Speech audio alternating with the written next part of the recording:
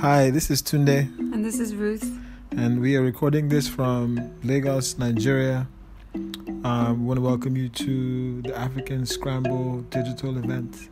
Yeah, we've been working on this digital event for the last month or so here in Lagos. Yeah, we've been uh, in Lagos, traveling to a couple of cities here, filming for our docu series as we work on this, and we hope you enjoy the programming slate. Yes, and we have contributors from here in Nigeria and Lagos. We have folks from Addis Ababa and Ethiopia. From the Bay Area. Yeah, the Bay, from all over. The United States, uh, New York area. Mm-hmm. Chicago. So it's it's a global event. Yeah, it's a global event of sorts. Nigeria, the United States. Yeah. Ethiopia. Definitely continental and diasporic, which is the idea of the event. Anyway, um, it's three hours of programming. We hope you stay for everything, or at least drop in uh, for some things. So yeah, enjoy.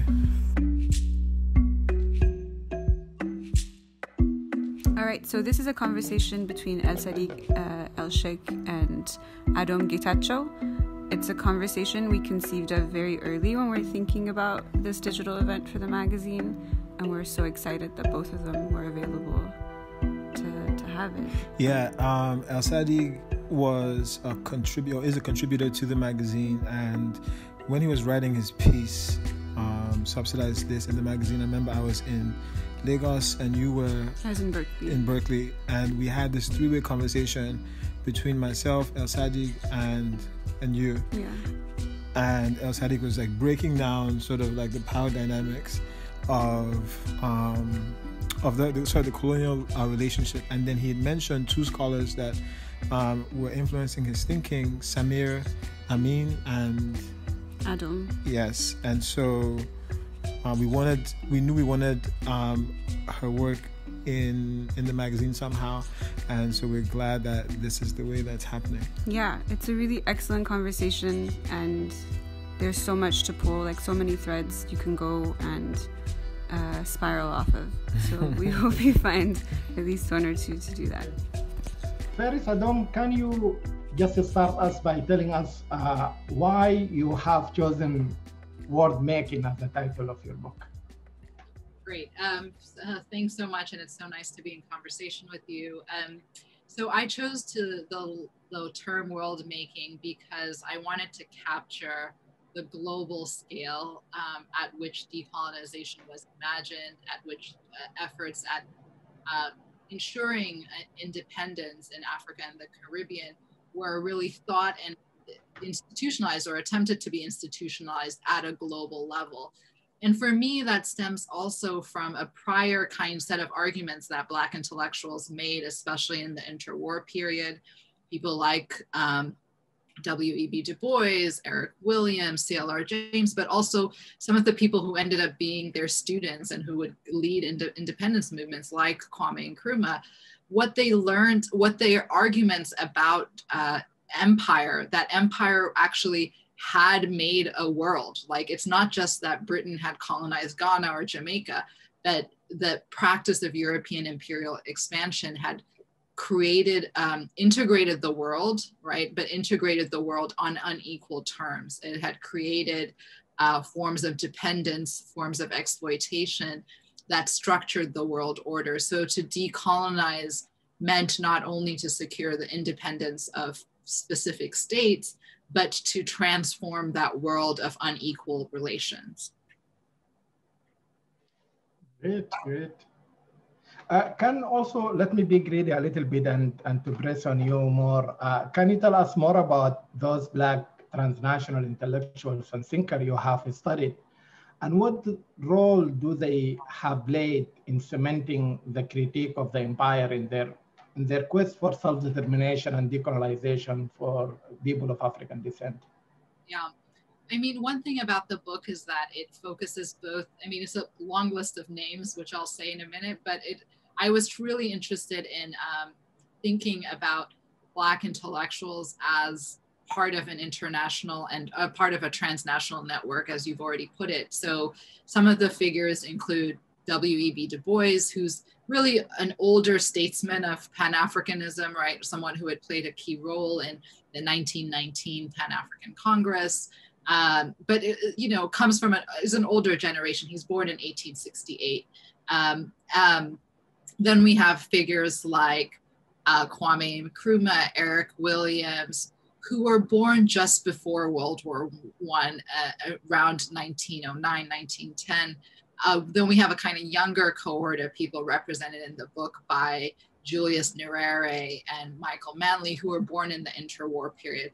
I, I make these distinctions, generational distinctions, because one, I think um, it's a one, it's a intergenerational conversation, right? And these figures knew each other, were in conversation in political and intellectual networks through this period, but also it means that their experiences of what empire was and how to understand empire also changed because their formative intellectual and political experiences occurred at different moments. Um, so someone like uh, Du Bois gives us a language of talking about racial hierarchy. He's the one in 1900 who says the problem of the 20th century is the problem of the color line, the relation of darker peoples uh, to the white nations, right? Um, that language will become very central to the ways in which later figures understand um, hierarchy, understand exploitation, and understand most significantly the role of race in structuring that world order.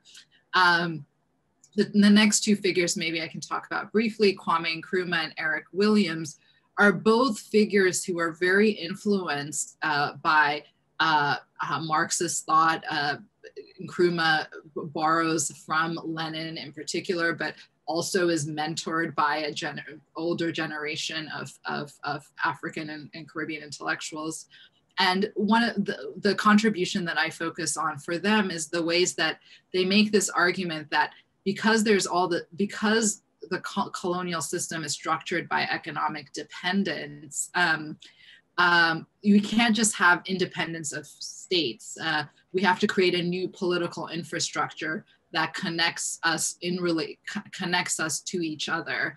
Um, and their their vision of that takes the form of federation. So Nkrumah argues for a union of African states. Um, uh, Eric Williams argues for the West Indies Federation.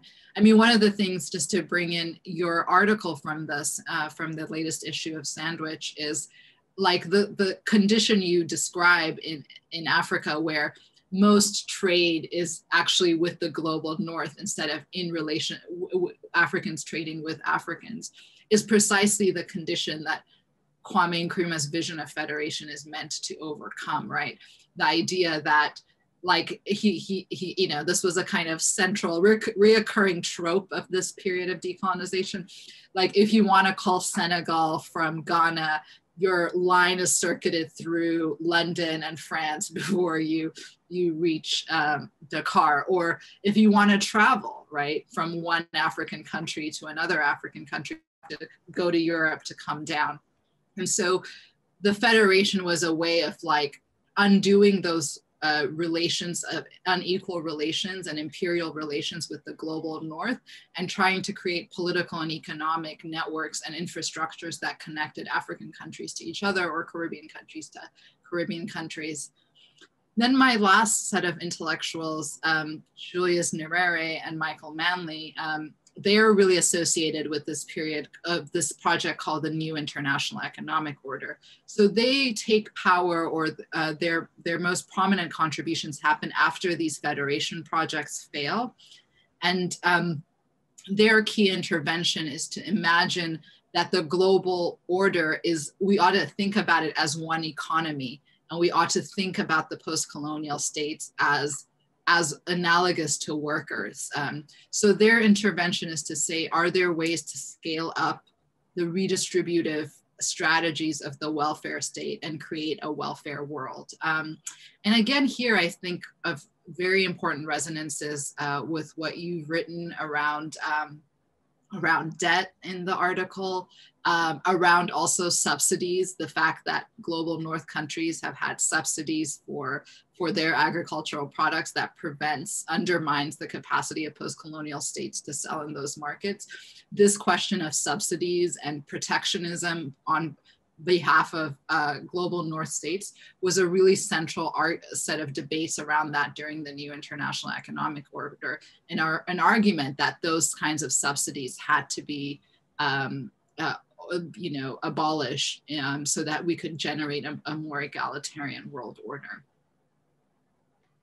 Thank you for that. Yeah, no, ab absolutely. I, I, I, totally agree with, with your assessment. And, and one of the ways I, I often use it in the food system to think about this colonial decolonial relationship and state of mind and the mind of uh, state of mind of coloniality that reside within our uh, bureaucrats uh, in the continent uh, in the last 40 years and how that enhance and, and, and de defeat the anti-colonial argument and enhance the neoliberal project uh, that covers the African uh, continent and continue to do so. And, and I found that you, your approach for us to asking the your reader to reevaluate, you know, uh, those history and to rewrite the history of anti-colonial and decolonial movements uh, in the present time in order to imagine the future, but also to assess the way in which the present in itself uh, it should be revealed. Like what type of struggle that we should be struggling for if we want to emancipate Africa agricultural, for example, uh, sector out of the colonial relationships.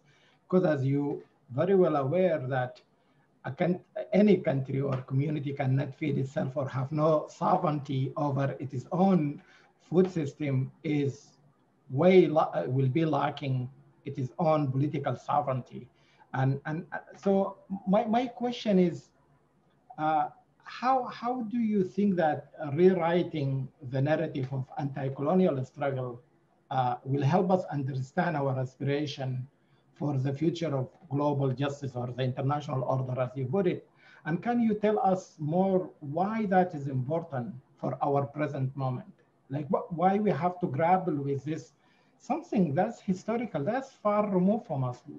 What is the benefits and the importance of that? Yeah. Well, I think that, um, you know, past, present, future are deeply connected, right?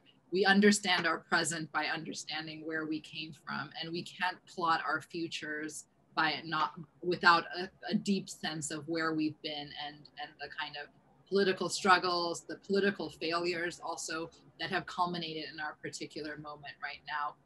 I think that's that's broadly like as a as a kind of political theorist, as a, someone who does history of ideas, that's the real reason I think, you know, I, I want to prioritize or privilege rewriting of history. I think though there's more kind of concrete things um, one could say about this too, which is, you know, um, like one is the language of decolonization has reappeared on our, you know, historic in our present moment uh, we hear it on college campuses, decolonize the university, right? Uh, we hear it on in various kinds of struggles around reparations, around land claims. And I think in order to understand what the promise of that political project was, we have to kind of tell new histories about what figures wanted to achieve in the moment of decolonization. I think one of the things I find really striking is like how many of the conversations we're having now it um, are are kind of uh, foreshadowed earlier like we find their resonances of them earlier so let's take something that's not really discussed in my book like this debates about decolonizing the university decolonizing curriculums i mean the african university is born out of this period of, of decolonization right this is the first moment where we get institutions of higher education almost immediately there's debates about what should be taught in these universities, how it should be taught. Uh, in University of Ghana, for instance, starts an Institute for African Studies, right? As and then the argument is like we have to produce knowledge that helps us plot our own kind of political futures. Um, so I think, and and also the figures I study are people who felt like even though they were political actors, like most of them are statesmen, uh, they become prime ministers, but they're all people who are deeply interested in the question of history and who think that writing histories of slavery or writing histories of empire um, can help them understand their own political predicament. So I think that's one lesson I want to impart on kind of contemporary activists, organizers, people who are thinking about the contemporary demands of decolonization is that any attempt to stake out a political project of decolonization has to grapple with its past uses and it has to have an account of what empire is, what it is that we're trying to overcome through the project of decolonization.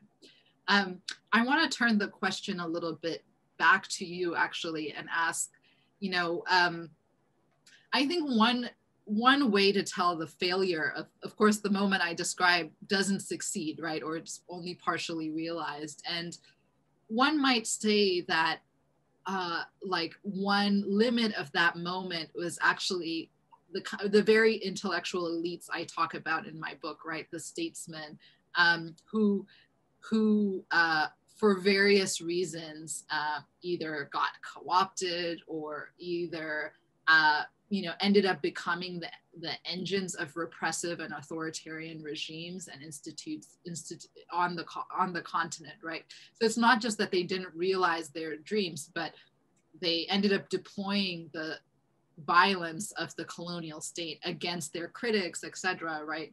This is, of course, what people would say say about someone like Nkrumah.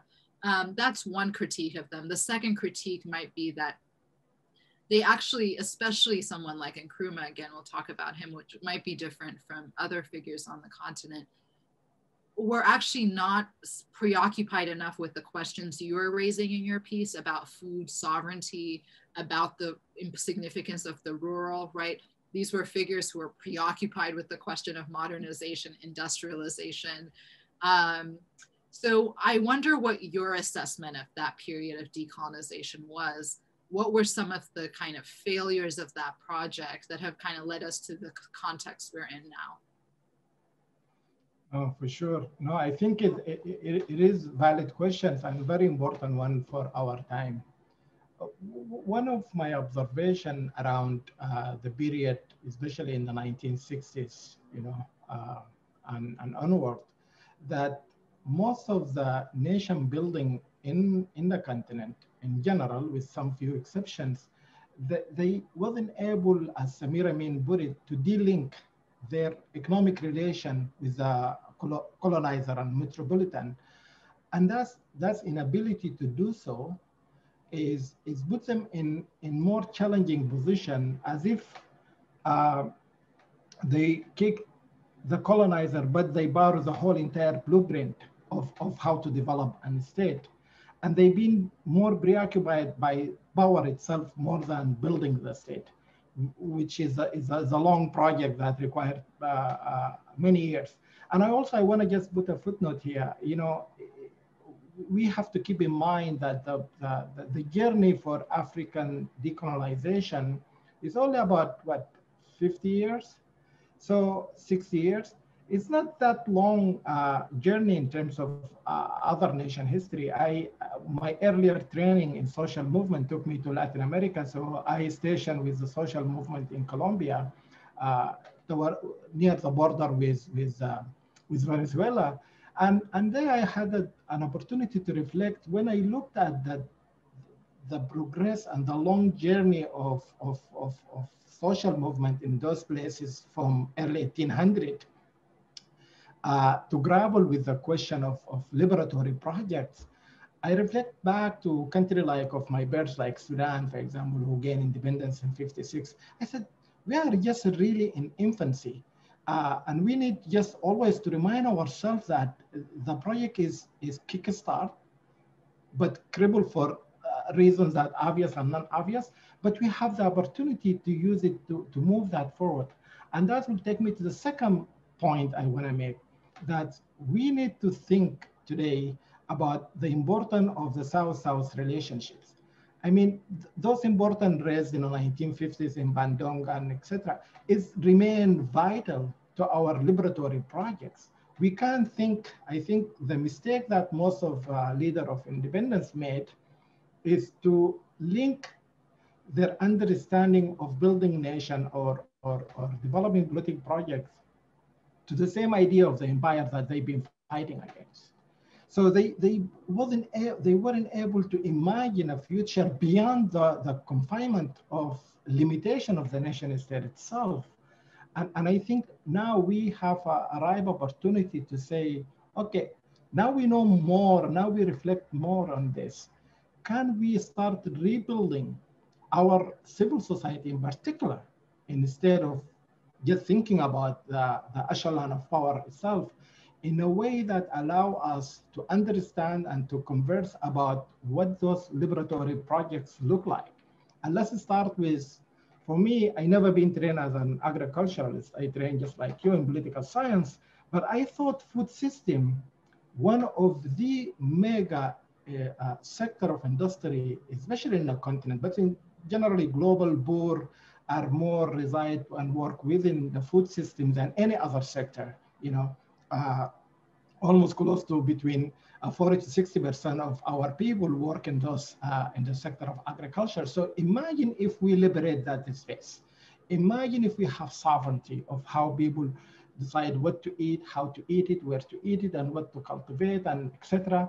And it does too many things. One, it allows them to have sense of uh, abstract idea of sovereignty. Second, uh, we will be allowing them to live at different living standards as Amilcar Cabral told us before in 1956.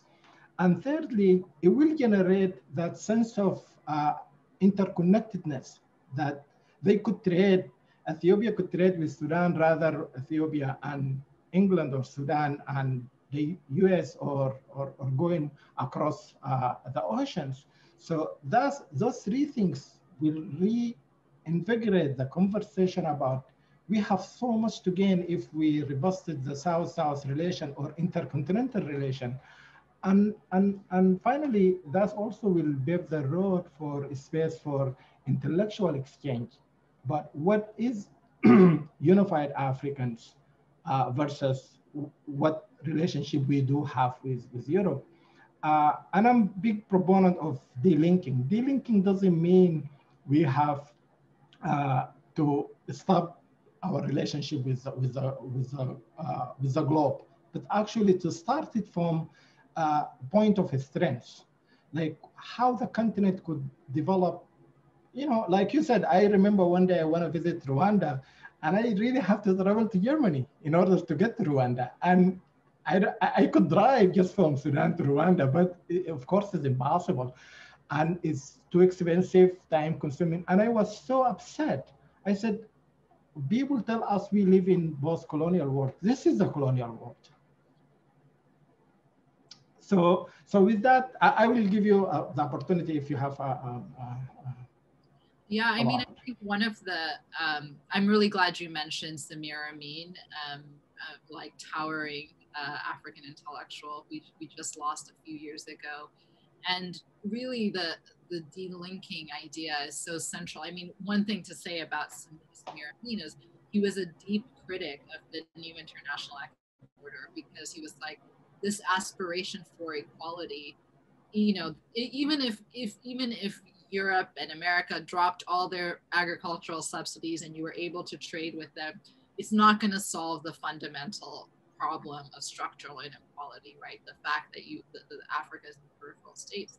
And I think you're right also that the idea of delinking has been so associated with a form of um, autarky or like a closed economy that doesn't mean you know that there isn't other forms of trade but of course samir amin was an advocate as others were of south-south relations and of developing more uh, egalitarian ways of relating to each other um, on the continent and across other other global South states. Um, I also just want to say, I think one of the most important things about uh, your emphasis on food sovereignty that comes out in the article too is um, that this is a moment of climate crisis and the question of food, of how we're going to feed ourselves, is such an important one. Um, and it, you know, th- that I think like the fact of uh, the climate catastrophe that we are in the midst of really has to be taken so very seriously by any kind of contemporary project of decolonization.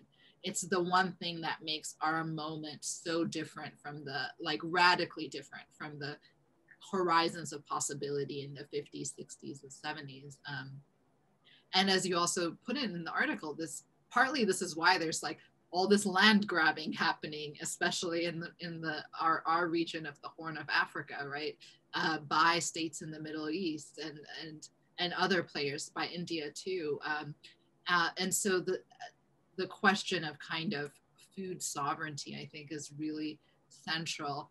Um, maybe we can end with one last thing, which is where do you see? I mean, we've seen over the last couple of years in Sudan, uh, last in the summer uh, or like in the fall in Nigeria, a few years ago in my homeland of Ethiopia, you know, a resurgence of popular mobilization um, on um, across the African continent. So I wonder how, where do you see signs of political possibility on the continent? Uh, what are you most hopeful about in this moment? I'm, I'm, I'm so glad before I jump into your, your question, you brought the, the climate crisis uh, vis-a-vis our you know, future political engagement. I think uh, for us in the continent, this to grapple with the idea of the uh, climate crisis is so essential. Uh, it's so essential into so many levels. But if we stick with agriculture, we know that agriculture contributes to almost 26% of the global gas, uh, green gas emissions. So, and imagine that, and we being pushed again to adapt and to work within, uh, otherwise is a, is acceptable framework for achieving sustainable development goals. But the way in which the mechanism of that is so alienating our uh, our people and continent from the natural world that we, we, we inhabited. And if we follow uh, suit of, of, of China's or India's green revolution, the catastrophe will be immense, not only of, on the continent, but also uh, in humankind. So I think grappling with the idea of, of thinking about food sovereignty deeply as, as a one response to hunger, but is also a response to the climate crisis. And, you know, I, I don't need to say that, but most of the audience know that always the most marginalized, the most oppressed will call upon to save the world oftentimes, not the other way around. So, and, and, and to answer your questions, I'm, I'm extremely hopeful of the future of, of uh, of, of popular mobilization in, in, in, in, the continent, in the, con- in, in the sense that they did not, this time, as I follow it closely, they did not focus only in political change. Their quest was for racial equity, for gender equity, for the right of LGBTQ, for the environmental uh, uh, sustainability, for, for food, uh, for equity between rural and urban. And for me, uh, I looked deeply in the popular uprising in Sudan, for example, and I noticed that when I interview some of this new generation, all of them under 30, I, I was shocked by their capacity to say there is a structural problem in a country. It's not only just the leaders. It, we have to overhaul the whole entire uh, apparatus of, of, they call it the deep state, but what they meant when you discuss it with them, this is the structural problems that contribute to poverty, poor education, health, etc., and lack of opportunity. And even they discuss the idea of forced migrations. So I was really impressed and, and, and I found it really profound. And, and I took some trip in uh, uh, west side of the continent from, from Senegal to uh, Burkina Faso. And I saw almost the same kind of sentiment of how people are grounding themselves in very practical issues of agroecology, for example. And, and, and reality there, I decided to work in the food system. When I met this woman, we are the solution, I said, this is an opportunity for us to reframe even our political project. So my hope in, in, in the popular movement I see across uh, the continent, they always center not about a singular issue, but about the structural issues. And I think it's about time to go back to the structural issues that is not who is in power, but actually what political project and political program actually uh, uh, reach the echelon of power. I think that's just such a great place for us uh, to close this conversation because, um, you know, in some ways, I think like both the uh, the work of your article in the magazine and what I've tried to do in my project is to, to center the African continent as the space and site of political innovation. To be like, this is not a place just of the world's catastrophes, right? Uh, the world's miseries, but a place and space of generativity uh, and creativity. And um, precisely the kind of new energies coming out of youth mobilizations, the fact that such a large percentage of the of the continent's population is now under 30 um, i don't know also leaves me with a great sense of political possibility um, and the, the kind of range of projects that people are taking on politically, culturally, um, are, just fascinating. And I think also that this ex- this magazine is also a, an, an example of that kind of creativity, right? And the the possibilities that can come to the fore when we speak to each other across the continent and and share stories, share food, right? Share resonant experiences across the continent. So it's been really fun to talk to you um, today. It's real, it's real pleasure, Adom, and I hope that we continue to engage and across, you know, the Atlantic with our uh, people in the diaspora, and by that I mean the continent and the Caribbean and part of Asia, uh, and of course here in in in the United States. Uh, the work is immense, but the hope is unbelievably uh, uh, greater.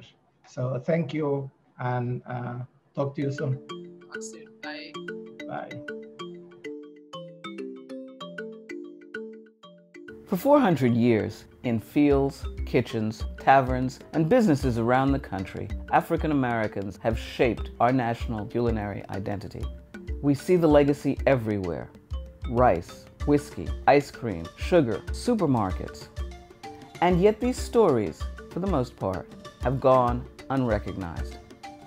I'm Dr. Jessica B. Harris, and I'm the lead curator on the next exhibition from the Museum of Food and Drink, African slash American, Making the Nation's Table. I'm Uzodinma Iweala, the CEO of the Africa Center. The Africa Center is excited to host the nation's first major exhibition celebrating African American contributions to American cuisine. At the Africa Center, we are radically reimagining the stories and structures shaping the lives of people of African descent in Africa and around the world. Through our programs and exhibitions, we're engaging partners who wish to deepen their connections with the African continent by finding unity with and within the global African diaspora. That's why we're thrilled to partner with the Museum of Food and Drink on the upcoming exhibition. The Museum of Food and Drink is a new kind of museum that brings the world of food and drink to life with exhibits you can taste, touch, and smell. MoFad uses food as a powerful lens to create cultural change towards a more thoughtful, caring, and delicious future. Yum. African slash American, Making the Nation's Table centers on the stories and skills of Africans who came to America and their central role in developing the agricultural, culinary, and hospitality systems that fuel the American economy today.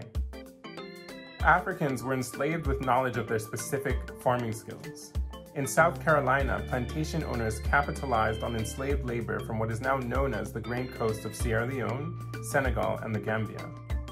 West Africans cultivated an indigenous form of rice that was already an established crop on the continent long before the transatlantic slave trade. In South Carolina, enslaved Africans faced grueling conditions to produce Carolina gold rice, one of the world's most coveted export crops. By 1720, enslaved Africans produced more than 20 million pounds per year, making South Carolina the richest of the 13 colonies. This is just one of the many ways in which people of African descent have played a central role in developing the systems that continue to fuel the American economy. Once COVID is further behind us, we look forward to welcoming you to the exhibition in person. I can't wait to see you here. It's time to recognize the countless black chefs, farmers, and food and drink producers who have laid the foundation for what we all eat and drink as a country. The first thing you see when you enter the exhibition will be an 18 foot by 30 foot legacy quilt. This will be a stunning work of art composed of 400 handcrafted blocks, each one representing one contribution made by an African American. Visitors will see in one massive object the sheer breadth of the story. We are restoring the Ebony Magazine Test Kitchen. It is this extraordinary, psychedelic, orange day glow place that not only tested recipes, but it was a place that was a nucleus for a changing of African American cuisine. The grand finale for the exhibition will be a guided tasting. We're working with an extraordinary lineup of chefs to create tastings that will bring visitors together around a table to break bread, share stories, and make new connections. It's about time. In fact, it's past time.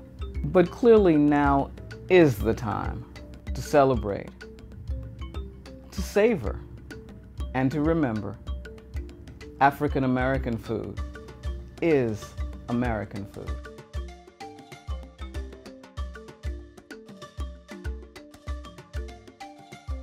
So the next thing is a reading from the magazine by Yemisi Aribisala.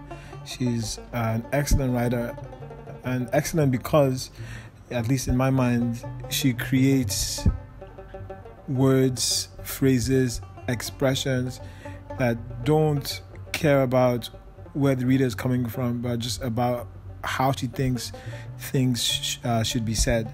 And so, in in editing her piece, um, um, Ruth and I, we were just like constantly finding new phrases and new expressions, and just being marveled by them. Um, and so we we decided to have her read the piece. Yeah, it's such a like word luxury piece. Like there's so many, so many great phrases, and particular to her, just style of writing. Um, so. Do you want to talk about the art direction? For, oh, yeah. sure. So what the footage you'll see um, while Yemisi is reading her piece is a market in in Lagos on the mainland, um, shot by our, one of the videographers we work with, Light Oriye. So I just wanted to sort of create some chaos some of the chaos she speaks about in her piece about markets. Um, hers is in London. And, and the footage was accidental? Yeah, it was accidental footage. He left his camera on while he was walking around in the market, but I thought it was quite perfect. Yeah. Yeah, so do enjoy it. My first time. That winter evening, while I was walking down Peckham Rye Market Street in London, at shoulder bump, squeeze past pace. A man screamed, Shaki! at me. It was in one of those brisk sections of the market where South Asians sell a variety of fresh meat, and you don't need to strain to hear Yoruba words splicing through the mishmash of street sounds. Those same parts of Peckham Rye I walked that evening are two decades later referred to as Little Lagos. I had just gone past a window full of pristine pink chicken parts, contrasting white tiles on the walls of the shop. When the word bounced off the back of my head, it was much too incongruous for the context, so I didn't respond. I hurried away if I was walking down Sura Market Road on Lagos Island, Nigeria, fine, I might have turned around as if Shaki was my name, as if it isn't what we call a part of the anatomy of a cow in southwestern Nigeria. I was in South London for goodness sake, 5,020 kilometers away from home. And the man behind me calling out had a Pakistani accent my mind easily persuaded me that I had heard wrong. Of course, he couldn't be speaking Yoruba. The man persisted. Shaki? You want Shaki? He swaggered after me for a bit, as if he knew me well, and wasn't in the least bit dissuaded by my refusal to acknowledge him. I stole a quick look to identify a butcher's apprentice in a stained coat. His presumption that I understood him while being totally random was spot on. I am Nigerian. I have an infatuation for the half inch thick third chamber of the cow's stomach called the omasum, as thick as a Bible.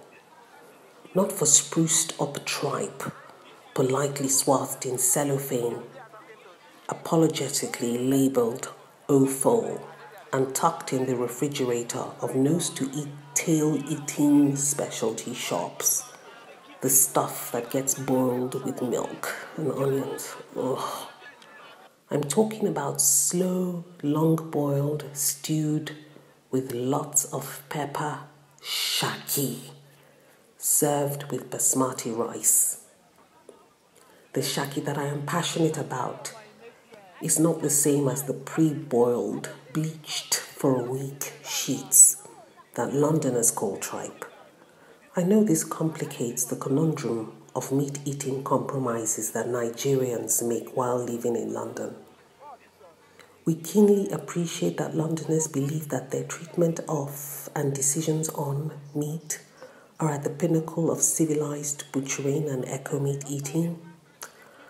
I haven't eaten in a restaurant in London since moving back over two years ago because of the omnipresence of a kind of global plate that satisfies a global palate. Such a plate is trendy, aromatically restrained, overtouched, smudged, smeared, reduced, foamed, minuscule portions. I'm told I have to be excited about eating from that plate when I want a large white bowl with hot peppered, aromatic puddles. The most racy thing I have ever seen on a restaurant plate as a non dining observer of London restaurants is marrow bone with the fat slouched tantalizingly inside. You would imagine you can suck and get away with it. You wouldn't want to dare. The fact that you must do a double take on what to do is all that needs to be said on the matter. I find the texture of London tripe wretchedly diminished by dressing. The process of dressing isn't expounded upon. Is that bleach or something else you can smell on the meat? The real proposal that London tripe makes is that I ought to be reassured by inorganic cleanliness rather than the original aroma of the meat. I am uneasy with the determination to soften meat by any means possible. I will take the gaminess of meat any day over the smell of bleach. Furthermore, the butcher's peeling strips off character. I see plenty of tripe as smooth as cloth. They are as appealing as eating cloth. I never see the kind that has thick lining with tendrils and fat, no diamond shaped corrugation. I realize my kind that loves undressed beef shaki don't constitute a significant market in Little Lagos. The point of sale of shaki in Lagos, Nigeria, offers such a wonderful contrast it is perhaps evocative of shambles in old world London. Encrusted bowls of water balanced on tables with soaking rolls of ponmo, cowhide, bokoto, cow's hooves, plated intestines. All first class delicacies, thank you. There will be sounds of hacking of bones with machete in the vicinity of humid aisles where slippery blood is underfoot, the smell of warm guts, sourness, and gastric acid will distend the air. The shaki for sale might be black with polka dotted frills, beige with raised squares, cream and simply reached, brown, tense, and obnoxious, and looking like it wants to fight. It will never be white, nor tear easily under pressure of fingers. No Nigerian with common sense will buy that kind of tripe. Contrary to the northern hemispherical conclusion that tender meat is darling, white is right, bland is civilized, sterile is respect, protracted rumination is savagery. Meat in Lagos markets is unhung, slaughtered and sold quickly under the miming of Arabic prayers and drained of blood. You need to rush the shaki home in a bowl to catch the dripping perfume that will never wash out of your car mat in a year. You get home and wash the shaki with concentration, hands picking carefully, sometimes scraping with a knife between inspected tendrils for grains of sand undigested food. You peel sparingly. You leave on fat for flavor and discard it later with the boiling water. You cut into small pieces. Boil for about three hours with bay leaf and fresh ginger root. You change and throw the boiling water away at least once. You don't start to cook the stew until the shaki crunches and splits when you bite down on it. You stew the shaki with other parts of beef, shin, brisket, shank. You simmer long and lovingly till the bones of brisket squish savory sweetness and become what we call biscuit bone. Your shaki is cooked when it yields almost gelatinously to biting. When it pulls away slightly, threads slightly, sliding easily without sticking in your teeth, not disturbing the chewing of grains of steamed rice with it. Meat is not something Nigerians are neurotic about. We love it and consider its presence a sign of good living. Therefore, it needs long attendance and staying power in the mouth. It needs spices. It needs pepper. Sometimes we fry beef till each thread of the meat stands alone. Rumination is fundamental. As a Nigerian writer living in London and sometimes writing about food, you must often keep the resolute, straight faced stride in the opposite direction from the primal call of meat. To answer the call of Shaki with an enthusiastic yes is to admit you are savoring those parts that people conclude self righteously belong to a troglodyte stable. Tripe eating went out with war eating with the 1950s and the closing of a famous chain of offal shops in Lancashire. It is so much the stuff of nostalgia on food rationing and controversial meat love that the celebrity chef Gordon Ramsay created a memorable moment on television when he cooked it in 2007. People still refer back to that television program as if they are talking about revolution. When I see food writer colleagues in 2020 post photographs online of eggs with apologies to vegan friends, I feel I feel every thread in the kilometers between markets. I think about love and self consciousness, dressing up and laying bare private rooms of the mouth, deviled eggs, biblical shaki, and all the worlds and civilizations between.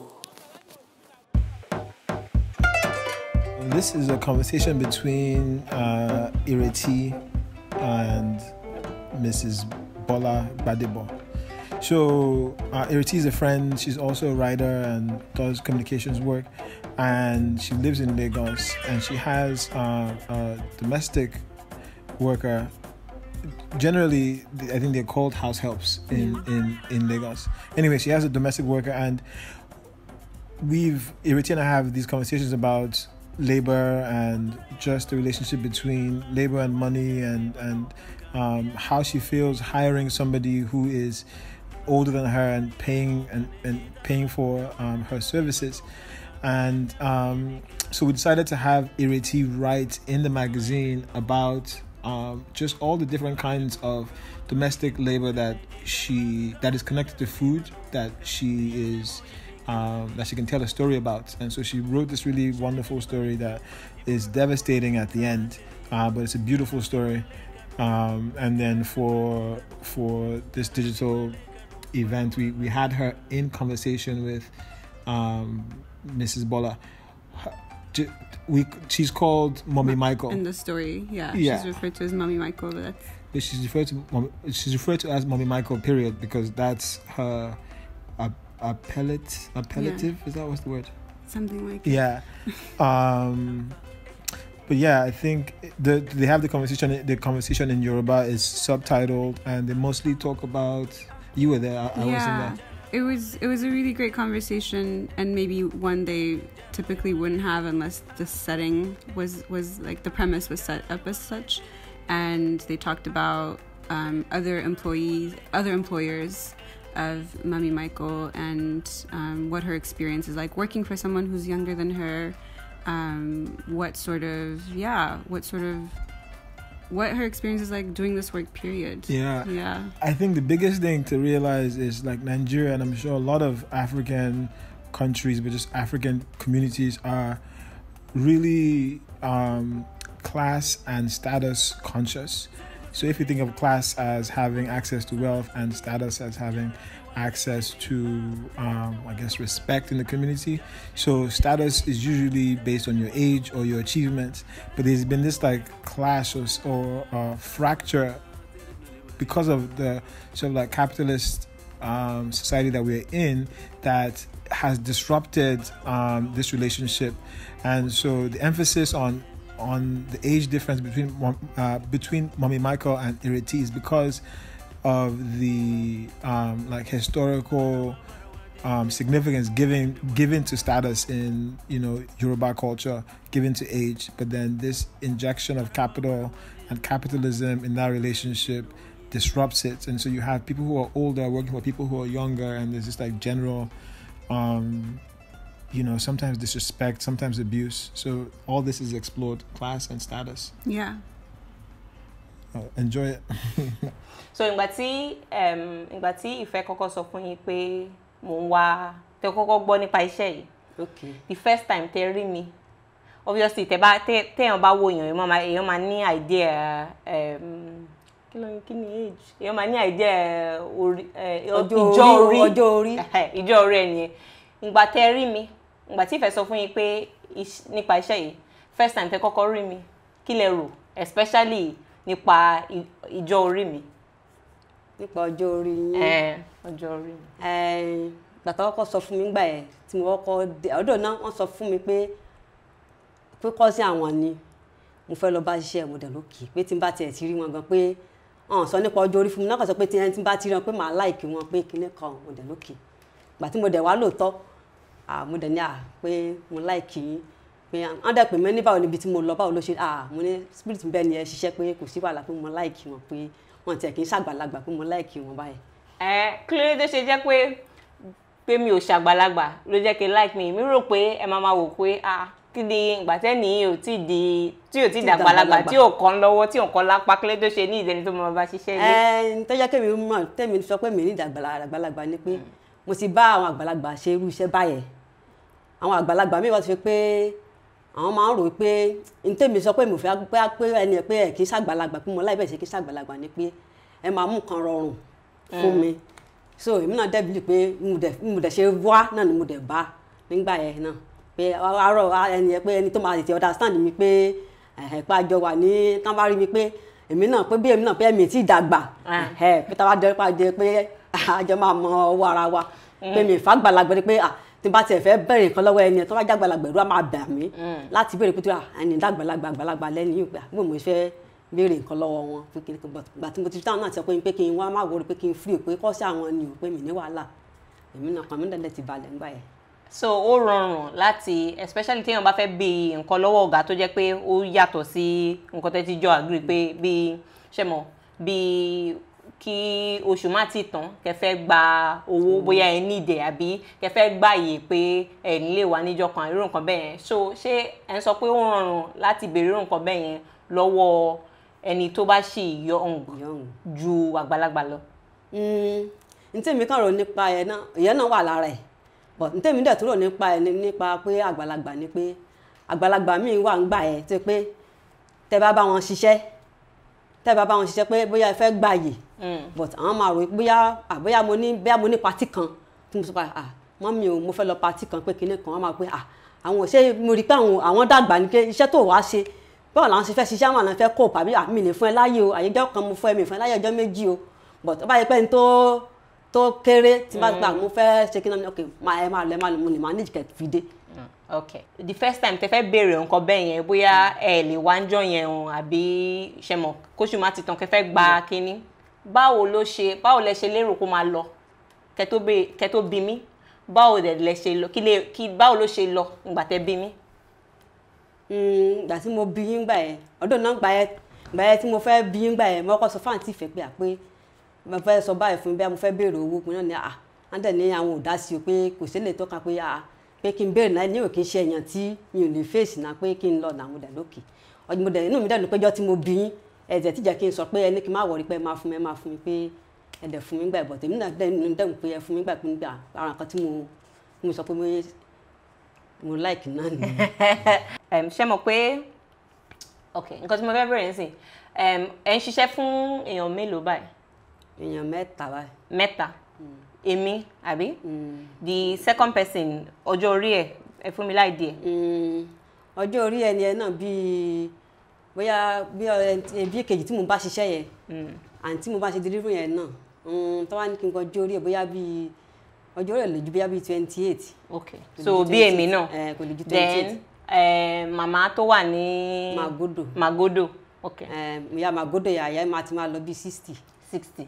Ok ṣe so àwa méjèèjì àbí? Ta ní ibi ta jẹ́ bíi the same age àti màmá yẹn. Yàtọ̀ sí nǹkan ta sọ nípa téèyàn bá fẹ́ gba yẹn kankan kí ni àwọn ìyàtọ̀ tó wà nínú kẹ́ máa bá bíi èèyàn bíi tèmi ṣiṣẹ́ àbí kẹ́ máa bá màmá Magodo yẹn ṣiṣẹ́? Kí làwọn ìyàtọ̀ tẹ máa notice. tí mo notice ń bẹ̀ ok tó yàtọ̀ láàárín yẹn. Yàtọ̀ tí èmi kàn rí ń bẹ̀ ni pé irú ẹ̀yin méjèèjì ẹ̀ ń sìn mo free ń bẹ̀ lọ́dún láàárín ẹ̀yin méjèèjì.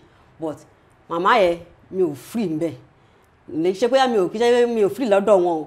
Ẹ pé ìdíwẹ̀ tí màá yẹ ṣe sí yín bẹ̀ pé àṣẹ pé single fún ẹ̀yin méjèèjì yẹn mi lè ṣe báyẹn fún màmá yẹn ìròyìn ilé tí màá bá ọ̀dọ́ wọn máa ń bá mi ṣe ìgbà mi máa ní kí n jókòó pé ìgbà mi ti máa parí máa ní kí n máa lọ ilé máa kí n bá wọn ṣeré díẹ̀. Mi ní bá wọn ṣeré bẹ́ẹ̀ mi ṣe bá lè bá bẹ́ẹ̀ mi ṣe free mọ́ ẹ̀yin méjèèjì ẹ̀ so mo kàn sọ máa ní mọ́mí ó ti rẹ̀ ẹ jẹ́ kí n máa lọ lé wọn àdán pé mi fẹ́ mi dà pé àwọn àgbàlagbà pé màá máa pé kí ni mo fẹ́ máa bá wọn sọ? Màá ní mọ́mí ó ti rẹ̀ ẹ jẹ́ kí n máa lọ lé pé ó ti rẹ̀ jàre màá dẹ̀ máa lọ lé.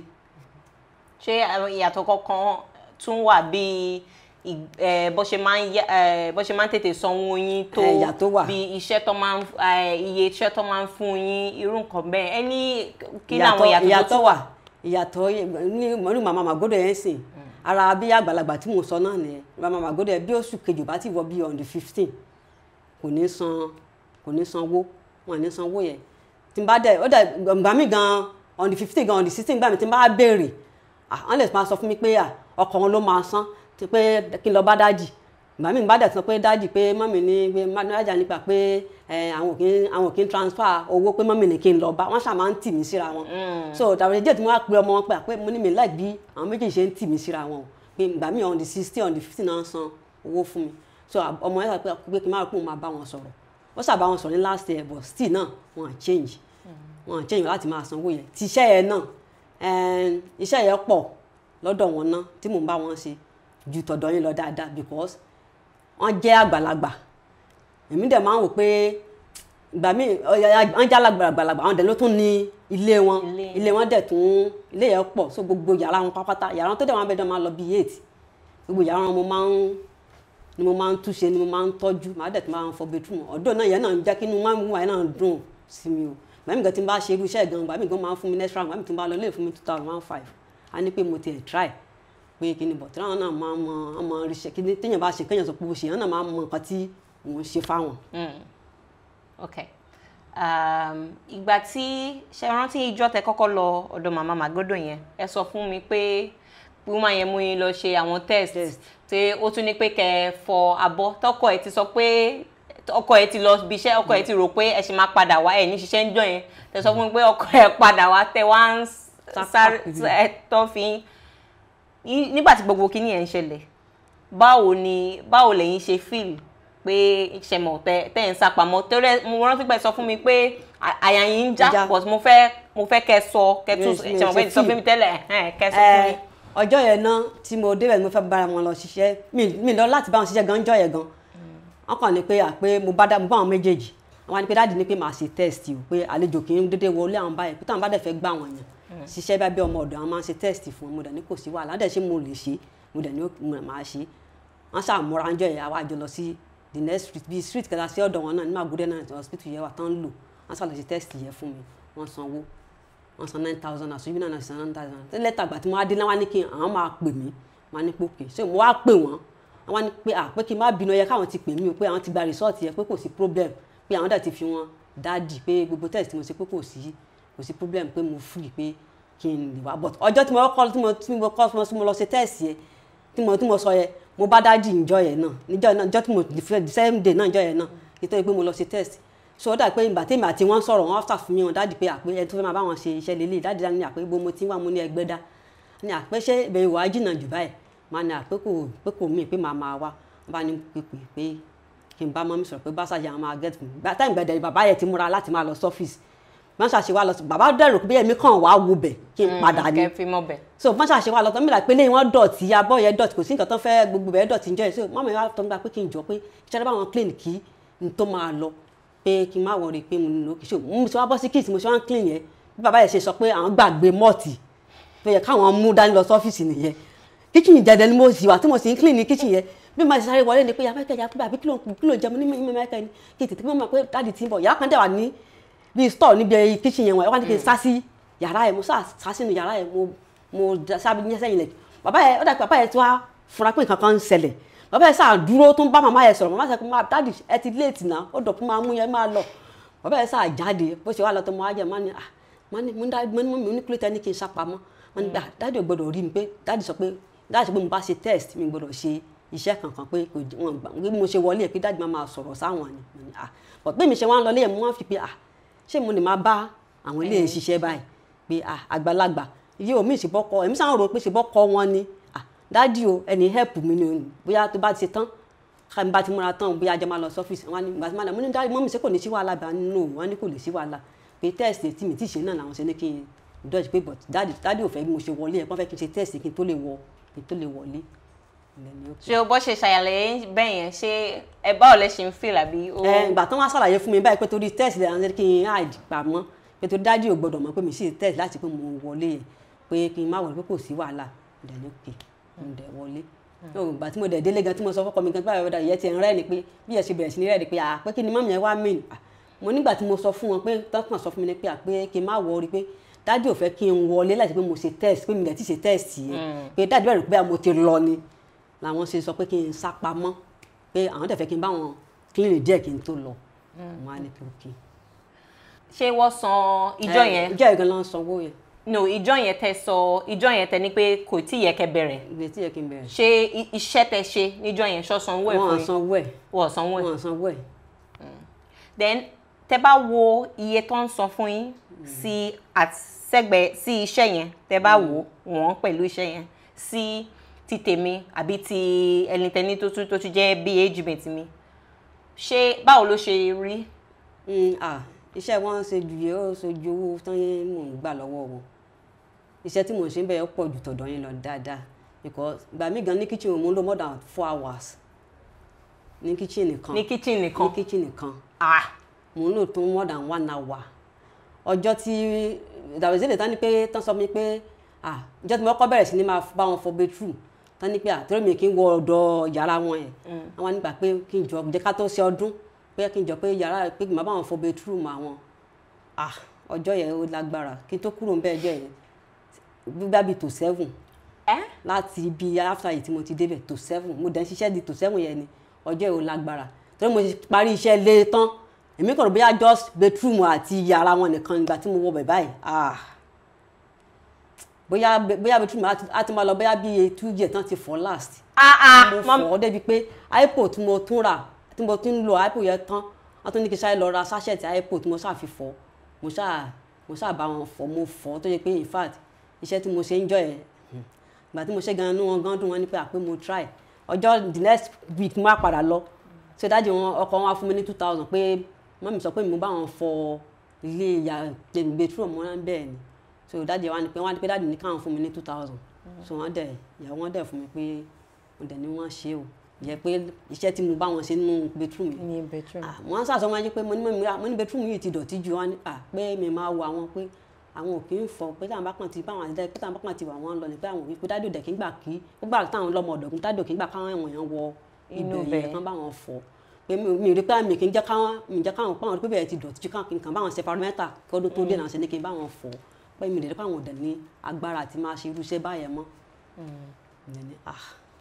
So tó bá irú ìjọ tẹ́ sọ pé ẹ ṣiṣẹ́ di seven fún irú èèyàn bẹ́ẹ̀ yẹn àti fún àti máa ṣiṣẹ́ fún fúnrú èèyàn bẹ́ẹ̀ yẹn àti bóyá ẹ ti ń ṣiṣẹ́ fún wọn náà wọ́n wá sọ fún yín kẹ́ ṣe bí irú bathroom yẹn tó jẹ́ pé bóyá ẹ ti ṣe di five o'clock ṣe sọ pé kẹ́ ṣe bathroom.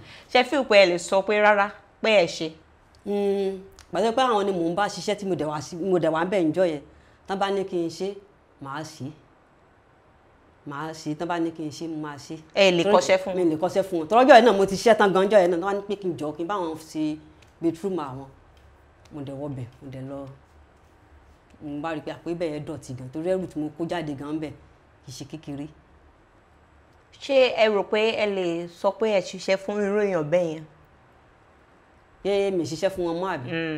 Ṣé torí iṣẹ́ wọn tó pọ̀? Mm, pé iṣẹ́ wọn pọ̀ wọ́n kì í tètè sanwó. owó tó ń san náà ò tó nǹkan. Ibẹ̀ yẹn jìnnà. ló jìnnà. Ẹ ná fún yẹn náà mo lè sọ pé mi ò ṣiṣẹ́ mi ò ṣiṣẹ́ fún wọn mọ́ fún yẹn. Bọ̀ tó bá ṣe pé wọ́n ń sanwó ẹ̀ lásìkò tán bá ń sanwó tán bá ti ń sanwó ẹ̀ fún mi lásìkò ó jẹ́ ṣe máa. bọ́tẹ̀ ẹ̀ mo tẹ̀lé máa ẹ̀dúyọ̀ pé màá máa fara tì máa forí pọ̀n màá máa forí tì pé màá bá wọn ṣe lọ tán bá ń san lásìkò fún mi màá bá wọn ṣe. kí ló dé tí tẹ bá ń bá mi sọ̀rọ̀ ẹ ṣe máa ń lo ẹ ẹ máa ń sọ mà kí ló dé tẹ ṣe máa ń sọ bẹ́ẹ̀ mo máa lo ẹ fún yín ẹ máa máa lò padà fún mi. Ó ní tí mo fi máa ń sọ bẹ́ẹ̀ ní tàbá ní káwé ní ti culture ní ti Yorùbá. Bó ṣe yẹ kó rí nìyẹn. kí ló dé. Ìdí ni wípé ká bá sọ fi tìwé sí ká fi wáyé bí a ti Yorùbá bó ṣe kó rí nìyẹn. Ìdí ni wípé Yorùbá máa ń sọ pé ẹni tó bá ń fúnyàn lóúnjẹ ẹni tó bá ń fúnyàn lóúnjẹ pé ọba èèyàn ni pé gbàkejì èèyàn ni. Kò sí bẹ́ẹ̀ ni ẹ ṣe lè kú kéré tó. Ìyẹn báyìí. Because bó bí o ṣe pé mò ń bá yín ṣiṣẹ́ gan báyìí pé bóyá bí ọ́fíìsì ńlá gan kan ni bóyá bí ẹni company tí máa bá yín ṣiṣẹ́ ń bẹ̀. Yàtọ̀ fẹ́mi nìkan ó gbọ́dọ̀ rí bẹ́ẹ̀ because ẹni tó bá ti ẹni tó bá ti ń sanwó fún yàn kò sí bó ṣe kẹ́ni yẹ kó kéré tó kò sí bó ṣe kẹ́ni yẹ kó jẹ́ èèyàn gbọ́dọ̀ fún ní respect yẹ. but ṣé ẹ máa ń rò ó pé ṣé kò kí ń kò kí báwo ló ṣe máa ń jẹ́ kẹ́yìn feel? Báwo lẹ máa sọ pé báwo lẹ máa jẹ́? Báwo lẹ́yìn ṣe rò ó pé ṣe mọ̀ ẹni tó tó ẹ tó sanwó fún yín kò tó sì kéré sí yín àti máa lo ẹyìn báwo ló ṣe máa ń jẹ́ kẹ́ ṣé kò kí ń kò kí ń ní yín lára ẹ kò kí ń ní yín lára kò kí ń jẹ́ kẹ́ kẹ́ máa rò ó bákan kò rí bákan sí yín. àìrọ kò rí bákan sí mi o. Because bó ṣe mo máa ń ṣe fún gbogbo yẹn generally yẹn. Yóò ṣe ìgbà tí mo ṣiṣẹ́ ní tá à ń ṣe ní airport ńgbà yẹn gan táwa ń bẹ̀ ńgbà yẹn mi ṣàṣẹ́gun tó jẹ́ pé kínní gan gbà yẹn tí kì máa yẹn gan complain gbà yẹn náà. Mo ní à bó ṣe yẹ bó wáyé pé ilẹ̀ Yorùbá bó ṣe yẹ kó rí nìyẹn. Yàtọ̀ fún ilẹ̀ Yorùbá náà anybody tó bá ti sanwó fún yàn kódà kó má ju kékeré kò sí bẹ́ẹ̀ ni ẹ ṣe lè kó jẹ́ kó kéré sí kó kéré tó ìyẹn gbọ́dọ̀ fún ní respect. Ok ṣe mọ̀ pé àwọn yorùbá especially yorùbá là ṣe mọ̀ pé especially fóbìnrin àti máa ṣiṣẹ́ ilé àti máa àti máa dáná àti máa nulé àti gbogbo yorùbá number one wọ́n believe pé iṣẹ́ obìnrin ni. Wọ́n tún believe pé bíi iyì ló jẹ́ fóbìnrin láti ṣe gbogbo kíní ẹ̀ láti máa ṣe kárakára. So mo ń wò pé bẹ́ẹ̀ ṣe jẹ́ yorùbá méjèèjì ṣe jẹ́ yorùbá tí ẹ̀jẹ̀ ń bá mi ṣe iṣẹ́ ilé. Báwo lẹ ṣe rò pé báwo lẹ ṣe wò ó pẹ̀lú bí yorùbá ṣe máa ń tẹ̀mọ̀ tí mo jẹ́ mi ò tí ì dàgbàlagbà mi ò kàn lọ pa mi ò ṣe tẹ́ ẹ ní kí ẹ̀hẹ́n èèyàn so ṣé kí n rò pé ah. Eh, ọmọlúàbí lẹ́yìn. nǹkan tó ṣẹlẹ̀ ni pé mi ò kí ń rò. Kí ẹ̀ dẹ̀ tún rò.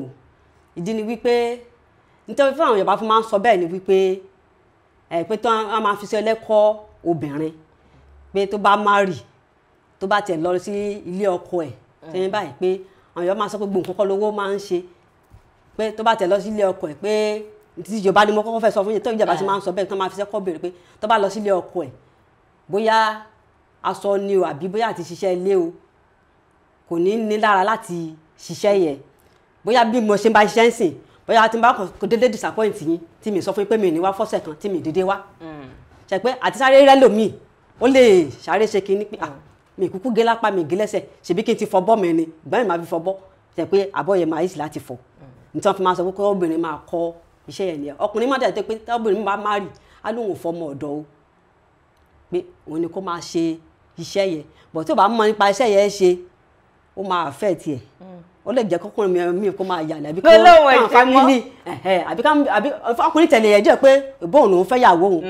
Òun lè gbọmọ ọ̀dọ̀ fún àbí tọmọ tí ọkọ bá ní pé òun kò fọmọ ọ̀dọ̀ ìyàwó lè pé ẹ pè má sanwó ẹ̀ fúnra mi má dẹ̀ gbà fúnra mi. Ṣe pé ìyẹn náà tún wà.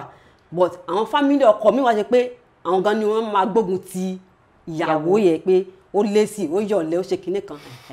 Ìyẹn náà tún wà bẹ́ẹ̀. Ti eléyìí ìkejì ni pé bóyá bóyá òkú bóyá torí èjì pé bóyá kò ẹ̀yìn lápá kò yẹn ṣe yóò mí pé ẹ̀yin Yorùbá ẹ̀yin ẹ̀yin mọ́lẹ̀ máa sọ pé bóyá ayé tá a wáyé sí yẹn kí la máa ń pè é? Kọ̀ǹpútà èjì ni. Kọ̀ǹpútà kí ni la wà live la wà ń sìn pé nísìn pé ẹ̀ pé nísìn àwọn nísìn ìlú àgàgà ẹ̀yin guys kì í ṣe pé ẹlòmíì ò lè dáná but ẹlòmíì ò fẹ́ wàhálà. Láti fúnra ẹ̀ ní wàhálà.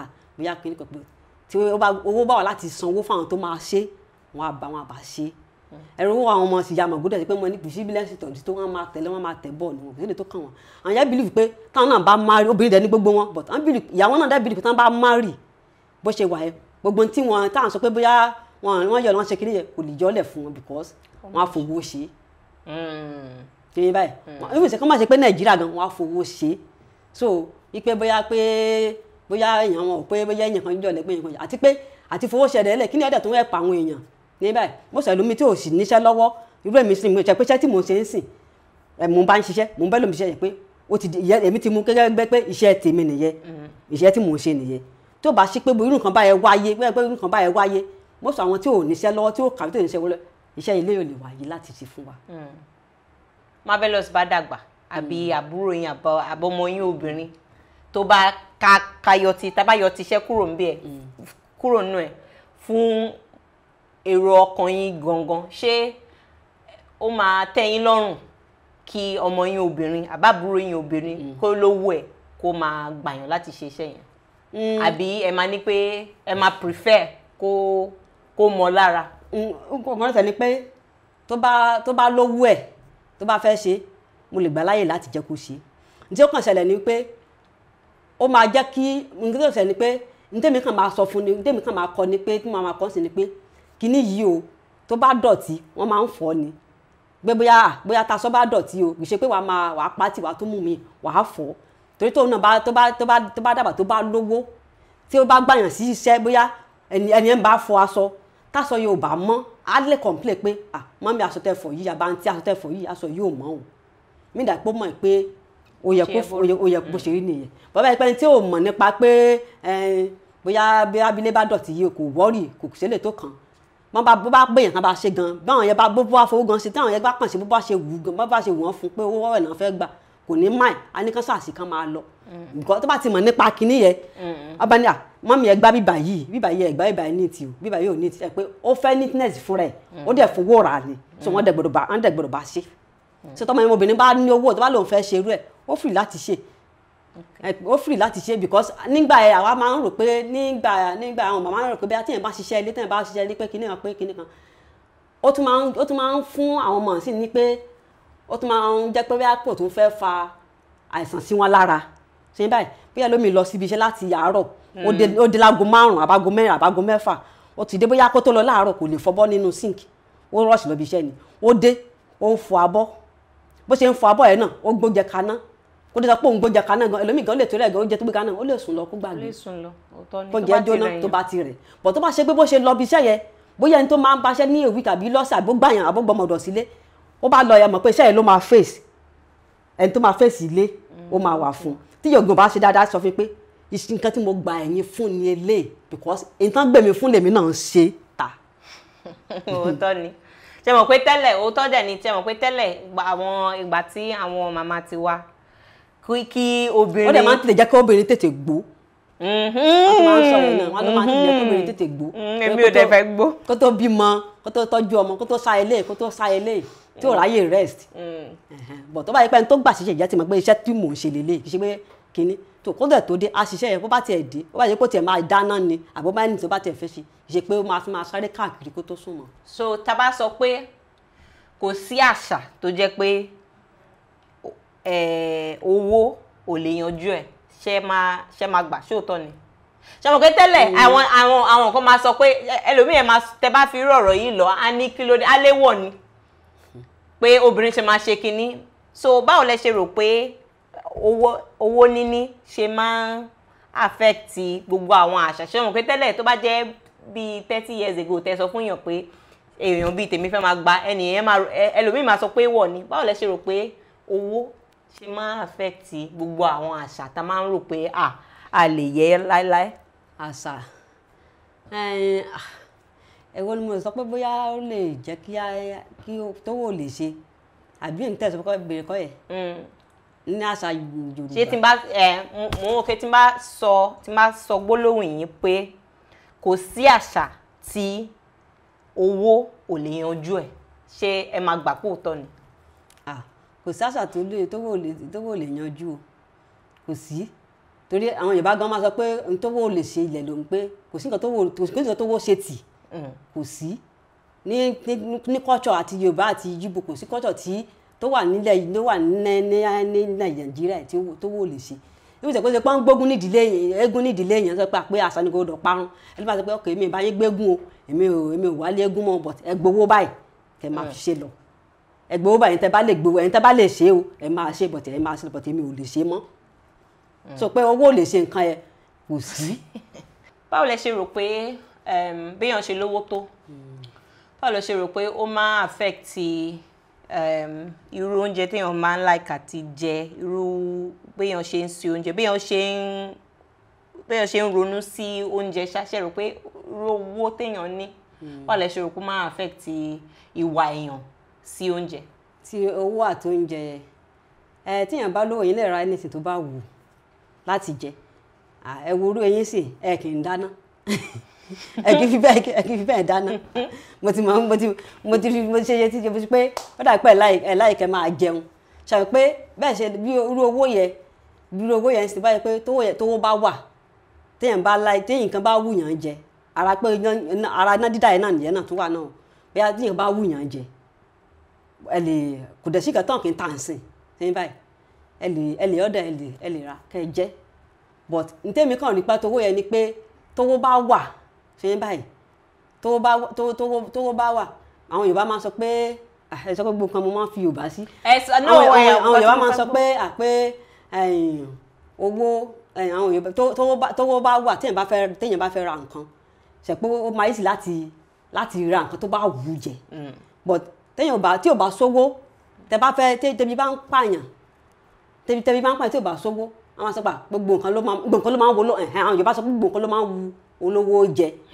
Àwọn ní gbogbo nǹkan tó máa ń wo olówó jẹ àmì ìdá pé owó tó máa fi rà á ó wà Ó wà. bí pé ṣe bí à bóyá kí n jókòó sí bóyá mo ní mo ní two hundred naira lọ́wọ́ ní ah ó ga o cash fish tẹ̀ wù mí jẹ. Ṣé cash fish ó- jẹ jaarọ̀ kò jẹ́. But gbówó ẹ̀ bá wà mo ní ah cash fish tẹ̀ wù mí jẹ o. Màá dẹ̀ jẹ. Ṣe pé ìṣẹ́jú yẹ ó lè bó ṣe sọ pé ú jẹ ara àjẹ but tí ò bá sówó á wù jẹ ni kò sówó tó máa fi rà àwọn èèyàn máa sọ gbàmẹ́ lóyún ẹni máa bíyà ọ̀rẹ́ kan méjì sọ pé ah kíní báyìí wù mí jẹ kò dẹ̀ sọ ọ̀rẹ́ lè sọ pé ah ó lè máa ṣe pé ah ó wù ẹni kò wù ẹlẹ́dàá ẹ̀. Torí kò sówó tó fẹ́ fi rà. Wọ́n máa sọ ọjà ó wù ẹni kò wù ẹlẹ́dàá torí kò sówó tó fẹ́ fi rà.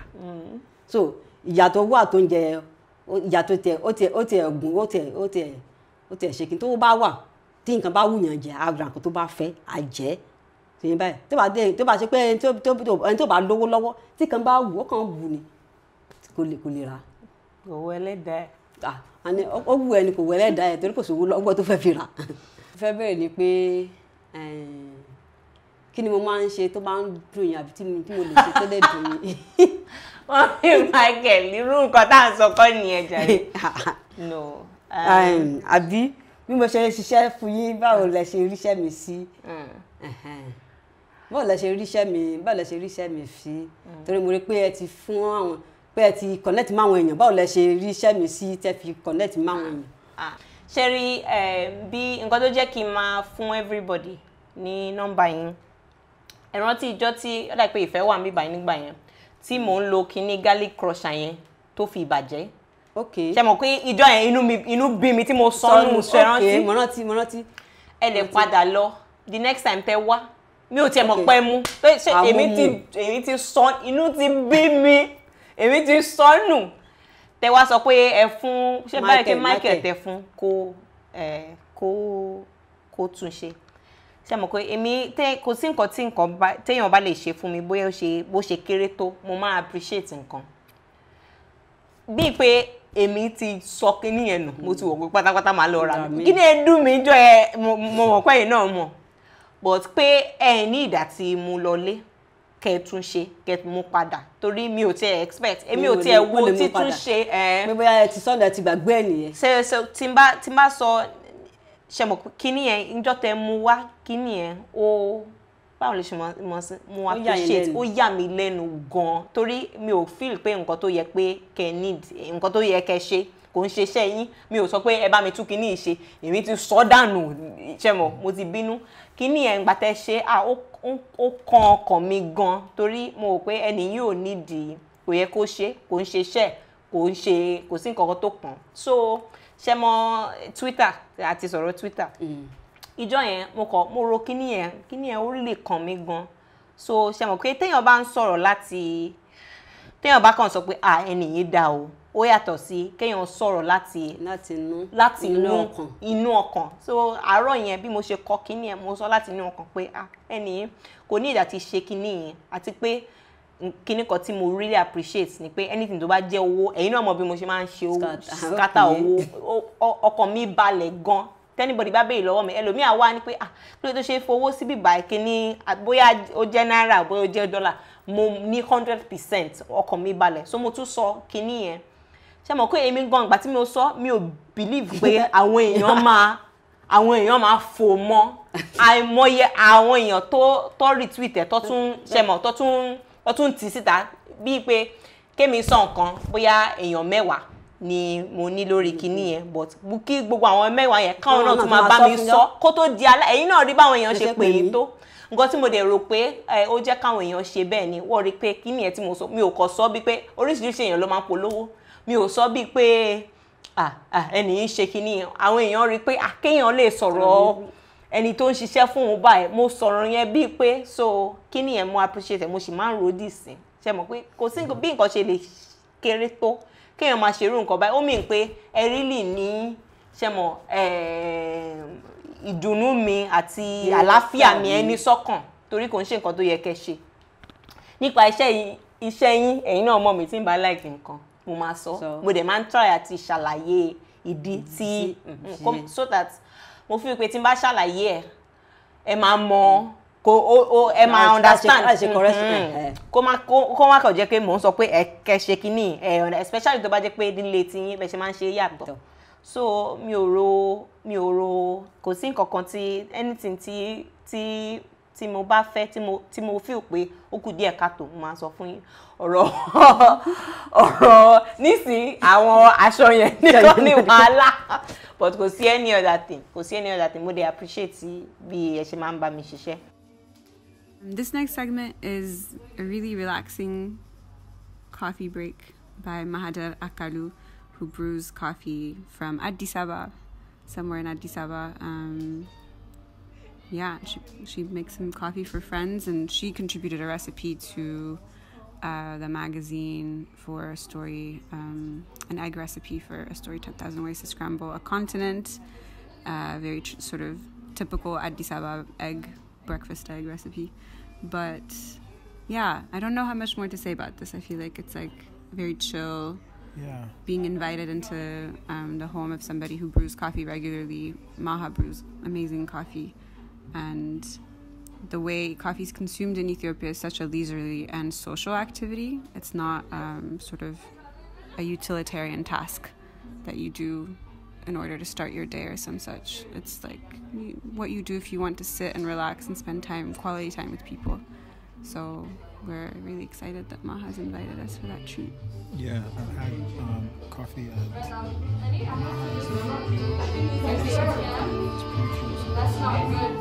good. We're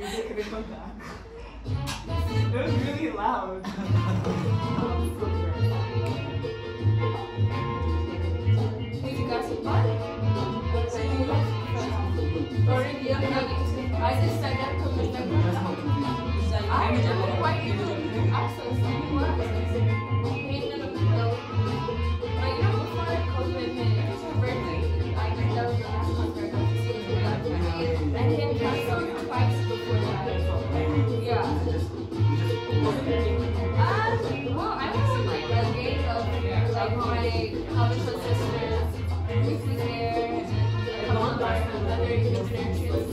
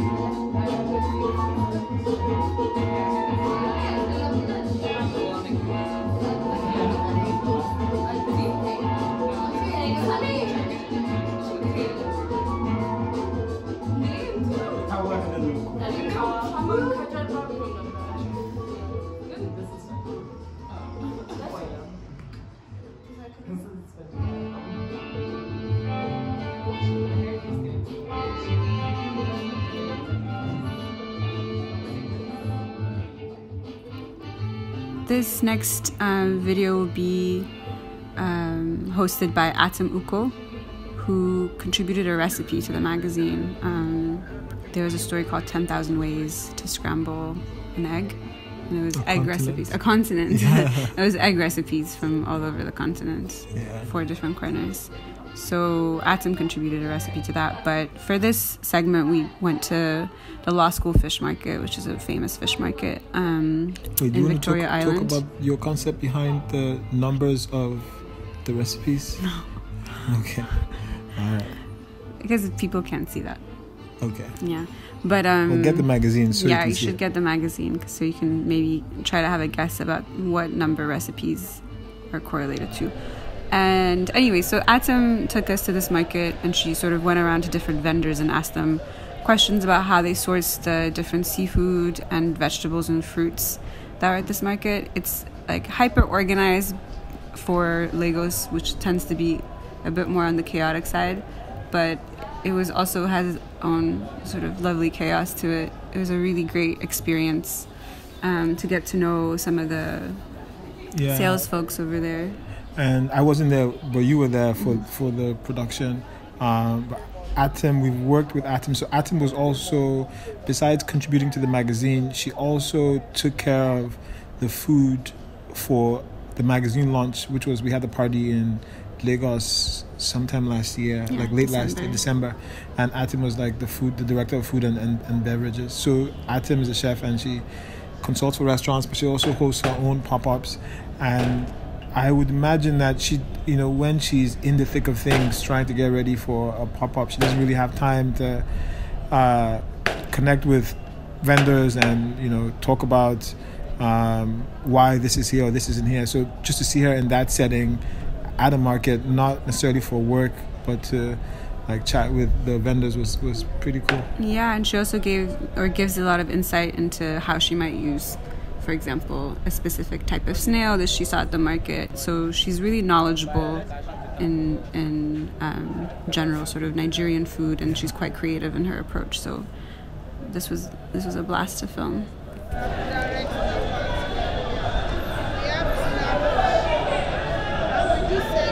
Where do you normally get the fish from? We got it from Big Sea. Okay.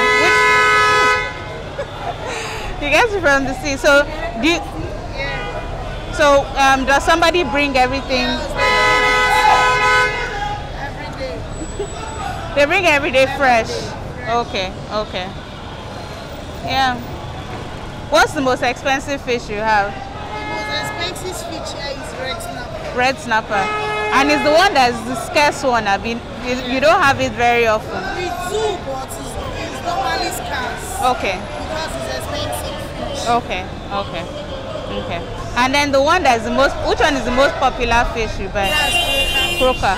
That one sells barracuda. Chinese. Yeah. That's the fish. And tilapia fish. Okay. That's the fish that's normally Everybody does get. No problem. How long have you been doing? How long have you been selling this fish? Well, it has been long. How many years? For me, let me say before they start oil or somebody's now starts to 30 years. Oh, 30 years. Wow. Wow. That's a long time. okay, that's good. What's your favorite type of fish? What's my? Your own favorite type? I don't have favorite type because we do have different type of fish to eat. What do you- of this, you I eat the other one. So I do exchange. For everything. I just want to say thank you for your time. thank you. Thank you. ọgbọ́n tẹ́ ń sọ wọ́n ní mo ní kí n ti fún wọn lẹ́jà.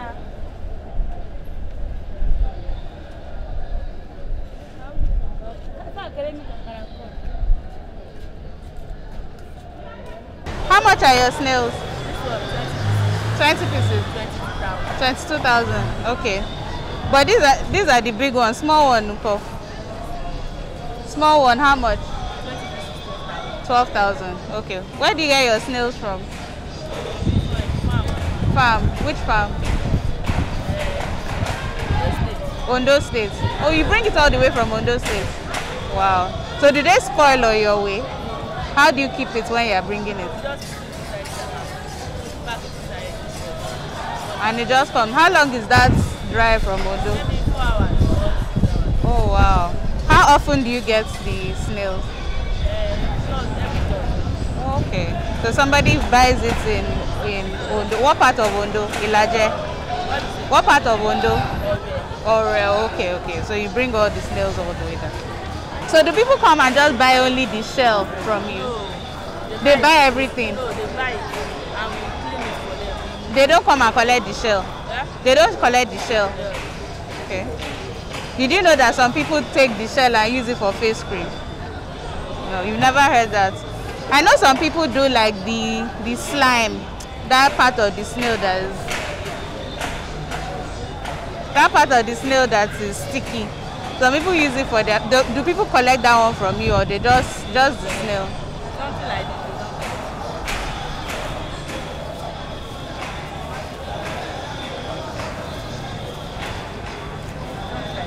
Mm, they won't collect it. Okay. She brought this from Ondo State, um, which is at least four hour, a four-hour drive, and she gets it every Thursday. So I mean, every Thursday have like a whole pack of snails, but it's kind of expensive as well because 20 pieces is like 22,000 for the big ones, and then 20 pieces for the small one is like 12,000. So snails are, I guess, a luxury food, but you still find it on a lot of menus. So yeah, yeah. I'll make stew. I'll put it in soups. I'll make like a peppered snail dish, which is like an appetizer. I've done. I've used snails as well for a restaurant consultation project I did, where I had like garlic and cream and put the snails in there with garlic bread. So yeah, it's a bunch of things. I wonder if they moved the market from there, the vegetable market from there here. I think so. Madam, thank you. Thank you. That's what I said. thank you.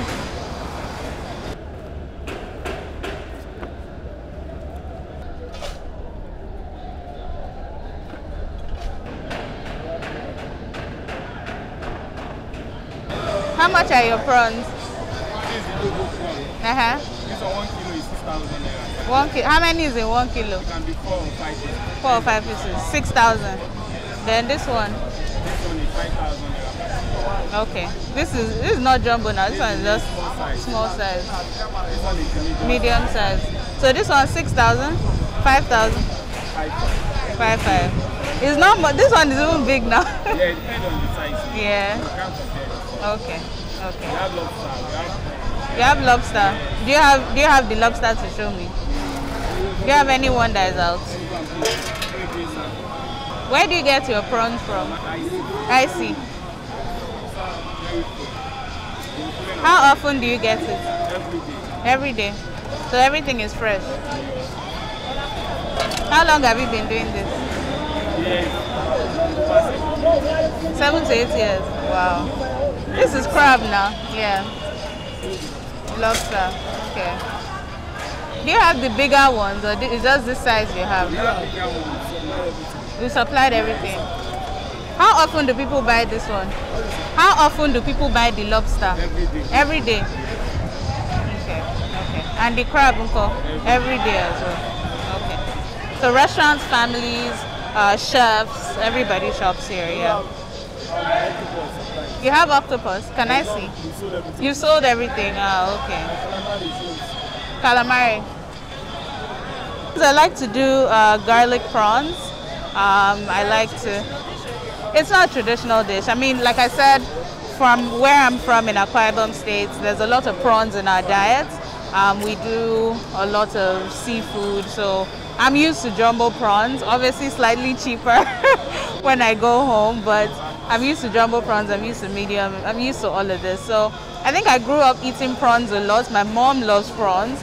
Um, we had it in pasta. We had it in salads, sandwiches. All like we had in everything because she was so obsessed with prawns. Um, but yeah, there's there's different things that you could do, and then grilled prawns as well. The big thing, you know, I do a lot of grilled prawns as well. So good afternoon, ma. So what's uh, your vegetables? What type of vegetables do you have? We have different types of vegetables. I can see that one. Which one is that one? No, not the green one. The green one, Eh. uh. Oh, okay. How many people do people buy it a lot? Yes, yes. Okay. Is it Nigerians or Oyibo people? Yeah, anybody. Anybody? Okay. And then you have purple cabbage. Is it the one? Is it grown here? No, they are it. They import it. No, not import. From where? Um, the Hausa people, they are bringing it. Oh, okay. Oh, so they grow it in the North. north and then they bring it down. Okay.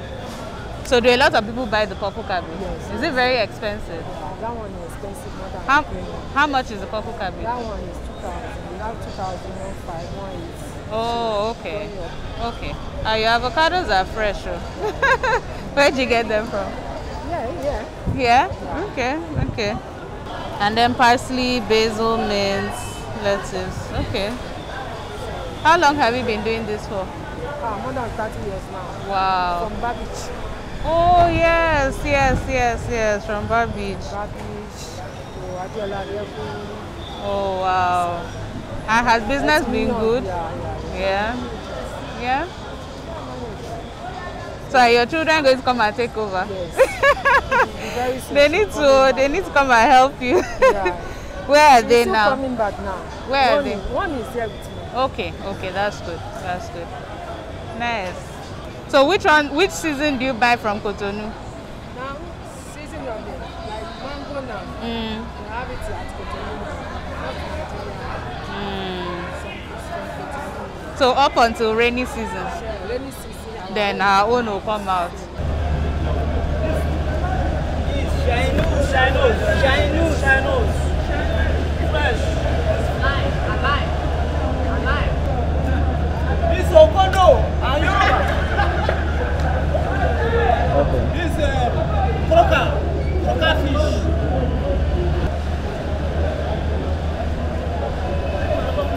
So this is uh, interesting, uh, at least for me. So Michael Elegbede is a chef. I think he's probably one of the most interesting, like Nigerian, African, or just chefs. Period that I, I have met. Just really doing uh, interesting things. I, I just have to be honest. Like initially, when I first like learned about Michael, I I wasn't sure what to think about him. Um, and I think Why is that? I, I, cause I don't know. I was just like, I just saw his work on Instagram, and it just looked like a little, he looked beautiful, and then he's also like a beautiful man in his face, and he like he often takes off his shirt. I'm like, who's this person that does this? you know.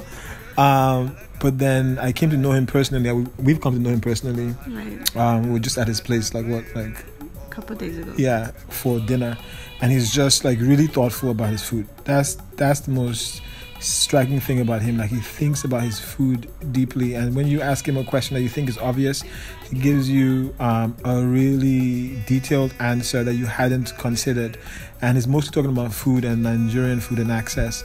Um, and so I, I, you know, I love him actually. Uh, and Mrs. Uko, I think we would describe her as like a traditionalist, but she's also adventurous with Yes. Nigerian food Yeah. and what she does with it. So we had this idea to put them in conversation Right. because we thought that they came from different ends of the spectrum when it when it comes to Nigerian food. Right. Mrs. Uko mostly cooks at home, Mhm. and she has a very popular food blog amongst Nigerian diaspora and folks here. And she has, on her own, been a student of Nigerian food outside of the food she's familiar with, Yeah. um, like her specific region of Nigeria, and has traveled and been just professionally curious. And not only that, she's uh, a nutritionist. Yes. And she also used to work as a marketer for a large multinational here, a food, a food, a food um, conglomerate. So she sort of like observed food from all these different as from the corporate aspect to the sort of like digital, and then also as somebody who cooks at home.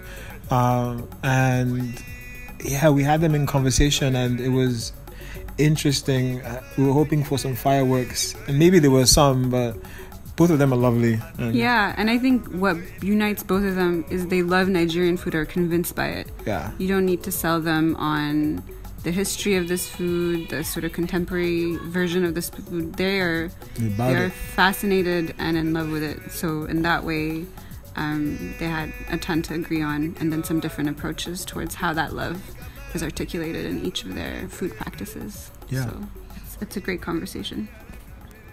Sometimes I ask myself, but must must it be this tiny little piece of duck? because because for me, I want the leg of the duck. I mean, so I'm tearing it, I'm pulling it.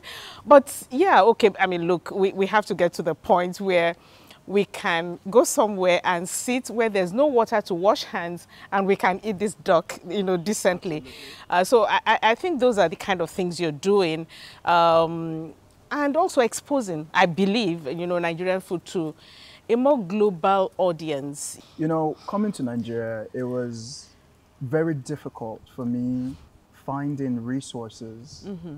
um, to what we do and pro- like culturally food, Mhm. uh, what we have. Yes. Um, and you were one of the few people who had taken that challenge on, Mm. historically representing and archiving Mm. and telling stories Mhm. of your journeys to the village, Yeah. to the fish market, Yes. um, your garden, Yeah. your farms, uh, and you giving a deeper insight to Mhm. what it meant Mm. to represent and understand Mhm. Nigerian food Mm. and cuisine. Yeah. And it was very important to me to tap into that Mm. Immense knowledge pool Mm, that you mm, have to help me understand, Mm. you know, what I would be going into Yeah, yeah. Um, when I traveled. Yeah. We talk about fusion, and I talk about fusion with, with my daughter at him. Okay, we have arguments about fusion, and I'm asking, are we there yet? Should we should we move that fast? Um, and I remember when this uh, this guy, um, I, the later Anthony Bourdain, came to Nigeria. One thing he asked, one thing he said, you know, was that, look, if he comes in here, he wants to see authentic Nigerian dishes. And of course, the, the word authentic, a Yeah. lot of debate about that. But I always tell people that, you know, what is authentic? I say, if I put egusi soup in my mouth blind, I should be able to tell you it's egusi soup. Mm. It doesn't matter how it was cooked, okay? So for me, I'm looking at us blending Nigeria eh, eh, within Nigeria. Uh, if you take miyan taushe, for Mhm. instance, and I start to eat miyan taushe with amala. I mean, you, you, you make me and, and you get me to eat it with then we're, we're, we're talking. I mean, that's where I am. I know you've moved on to fusion, but for me, you know, I'm saying, can we just fuse within Nigeria first? On the contrary, I don't Mhm. believe what I do is fusion. Oh, okay. Tell me. Um, I believe what I do is a different representation Mhm. of how to experience what we Okay, okay. already have. Sure. I, I do want people to have that experience. Mhm. Not necessarily you put egusi in your mouth and you're Mhm. like, this is grandma's egusi. Mhm. But you put egusi in your mouth and you're like, wow, what, what I saw is not what, I What- thought I okay, would taste. okay. You have the iru, Okay. you have the, the, the, the, you know, dried fish flavor, Mhm, all mhm. of the flavors Mhm. that are represented in the traditional way Okay. of pr- making egusi. Okay. Once the, it, it hits your palate, Mm. you're like, wow, I, I didn't realize this same flavor profiles Yeah. can be represented in this form. And people are like, this is fusion. And I'm like, it's not fusion. you know, we think that that representation is trying to make it nice. I, I Mm. don't think of it as me trying to make it nice. I Mhm. think of it as a spectrum of Mhm. representation. Okay. Um, the more you create diverse ways of representing things, Mhm. the more value Yeah, sure. inherently they are. Mhm. Fine dining. Yes. For who? for the average Nigerian, or for who? I mean, for okay, look, is, it, is it for the average American? You know, because even in America, the American will not go to that average person might not go to fine dining. So when you say fine dining, who who are we well, selling if I wanted to do fine dining for the European market or Uh-huh. the American Yeah. market, I will be in America or Europe. Okay. Um, being in Nigeria, Mhm. I, I think it's very important. You know what happens in third world countries, Yeah. uh, which uh, inherently what we are, Mm. um, is we undervalue Sure. our food and Mhm. our cuisine and our ingredients, and it takes a different perspective to Mhm. say that whatever it is that the French are doing with their food, whatever it is that the Japanese and the Europeans Yeah. are doing with their food, and Mm. the Americans, our food are worthy of being on the same platforms. Our food are are worthy of taking an insightful, Mhm. a more um, sometimes even scientific approach I- towards understanding those ingredients. Yes. And in many ways, you're doing the same thing, but because I, you you experiment with food all I the time. I know, I know. I was just putting you on this spot. No, no, no, no. I no. know. It- I, but I love the question Mm. because I think it's it's something that is often misunderstood. Yeah, I know. Um, in our in our cuisine, in Mhm. our representation, Yeah. most of my clients are Nigerians. Yeah. You know, and they're Nigerians who have traveled Mhm. for food Mhm. to experience food in this art form. Because Yes. at the end of the day, culinary art is Sure, an art form. sure. And if you know, I want to eat amala Mhm. and abula. Mhm. You know, I've traveled to Ibadan to eat abula. I know that when I was, you know, getting married, part of the things my mom gave me was a mortar and pestle and, you know, those kind of things. You mean she didn't give you a Vitamix?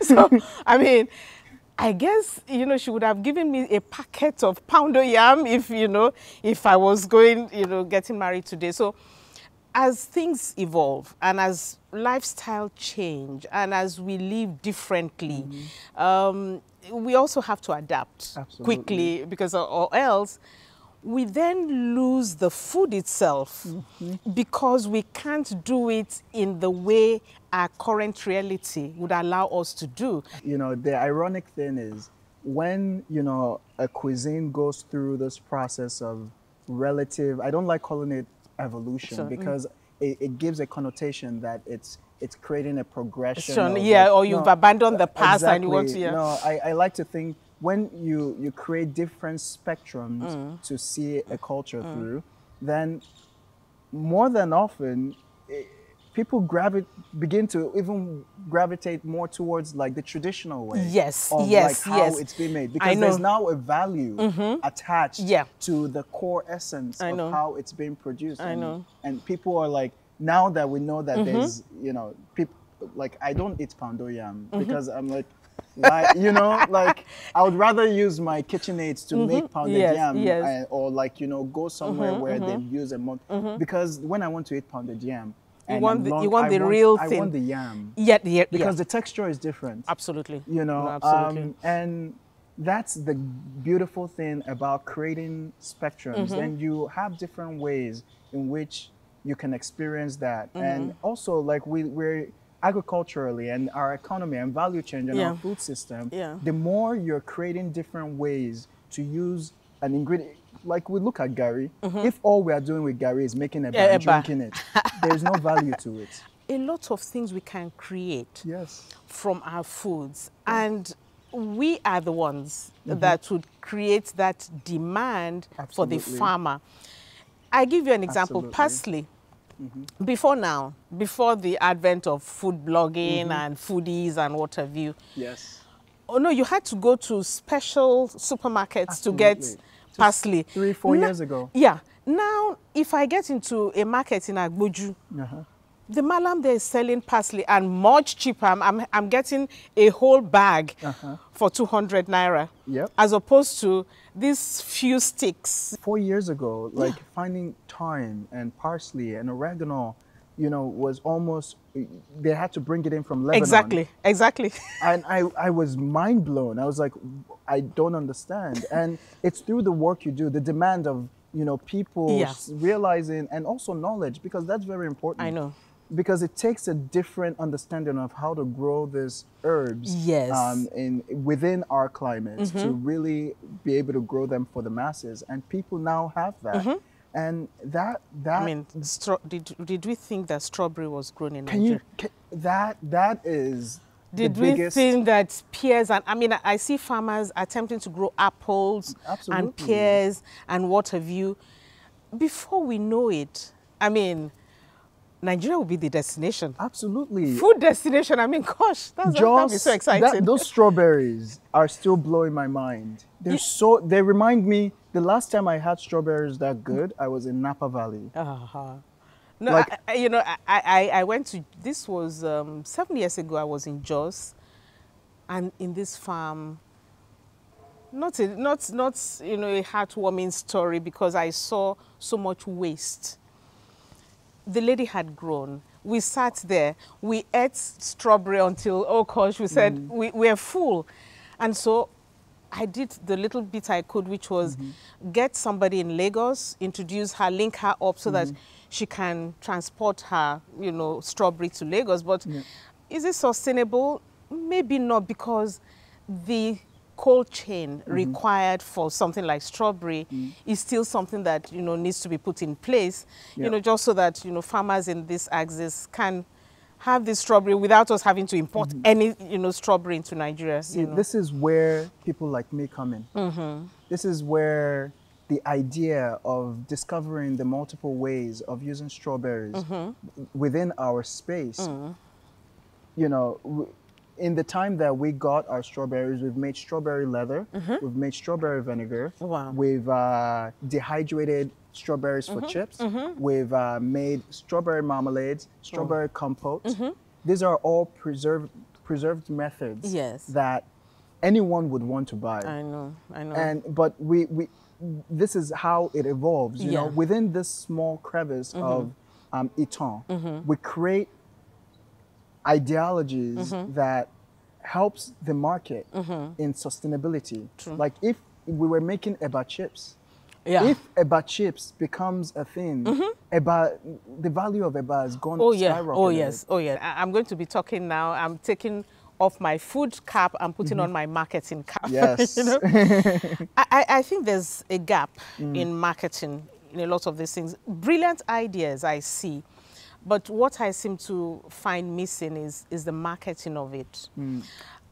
Anything at all has to be marketed. You Mm. know, if if I'm a farmer in Jos and I don't know that Arbori exists, there's a problem. I can't go on that platform. Mhm. So I think it's this thing about and aggressive marketing. y- Mhm. You know, we're in the digital age. Absolutely. The noise, the noise on digital is Mm. heavy, and unless you can successfully disrupt Mm. on that platform, nice idea would just It- be a nice idea. So anything. it's about you know real creative marketing around some Mm-hmm. of these ideas that would help.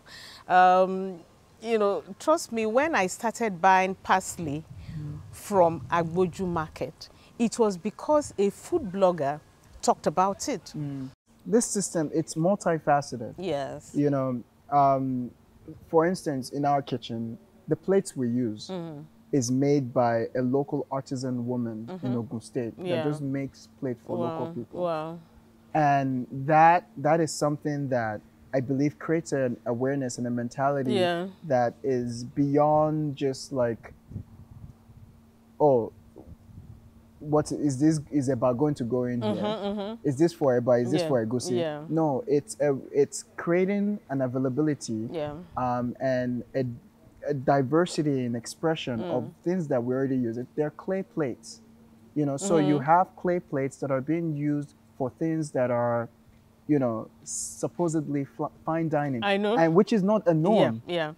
So we're we're and I I many times question you know my expression and Mm. I've I would like to think I've evolved over the time that I've been here Mm. because I would I, I would think the way I started I, I had you know background in Mhm. Western Mhm. culinary education um, so my initial expression of Nigerian food Mm. Was very it was very Western Okay. you know Uh-huh. uh, the white porcelain plates Yes. you know um, everything with sauces and you know Yes. and over time the more i understood what it meant Mm. to be nigerian Mhm. um, and what it meant to represent our food Mm. the more i needed to represent that in in my expression of Yeah. it Yeah. So from the plateware that we use, like when I see porcelain plates, I don't think of it as us. Yeah. Yeah. I go to the market and the people who are selling plates are they're clay plates, Mhm. you know, traditionally. Yeah. Yeah. Um, but the problem now comes where you know I'm serving someone with a clay plate and they're like, ah, which one is this ebo ritual thing that you are? no, I know so many of my followers who have come to say, I've started a restaurant just by following you. Mm. I've learnt this, I've learnt that, you know, just by, you know, watching what you do. Some you're giving free advice, you Yeah. know. I mean, I said I've never st- done a restaurant in my life, but they want this recipe, they want this special recipe. Mm. And you feel good, you know, Yeah. that yes, I've helped this entrepreneur. Absolutely. She's going on, Mhm. she's succeeding, Mm. and if she does, Mm. Food on the table for her family Mm. or food on the table for his family. So there is ripple effect. Absolutely. The reason why, you know, there's parsley in the Agboju local market, market, in Agboju market, yes. is because of the work you're doing. Yeah. And that is necessary. And it's not because of the demand of the minority, uh, of Mhm. the one Mhm. That's not why there's parsley in Agboju No. market. Because the people that go to Agboju market Yeah. are not the minority. No, they're they're not not. one percent. Yes. they're everyone else. Yes. And that's very important. I didn't even know that, but that's it's a very important significant and significant change in Yeah. in, in, in the in the, the food space. Actually, parsley is is used in a lot of northern dishes. Uh, there's this um, uh, dambu shinkafa. Mm. It's it's uh, steamed rice, and it's it's a dish that a lot of you know parsley is used.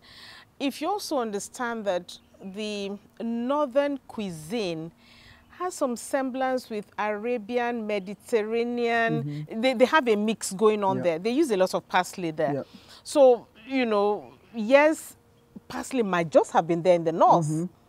But because the southern foodie, like mm-hmm. you and me, are talking more about it, mm. I'm then ready to adopt the northern dish. Or I now see that, by the way, I can add parsley to my Nigerian salad, not salad.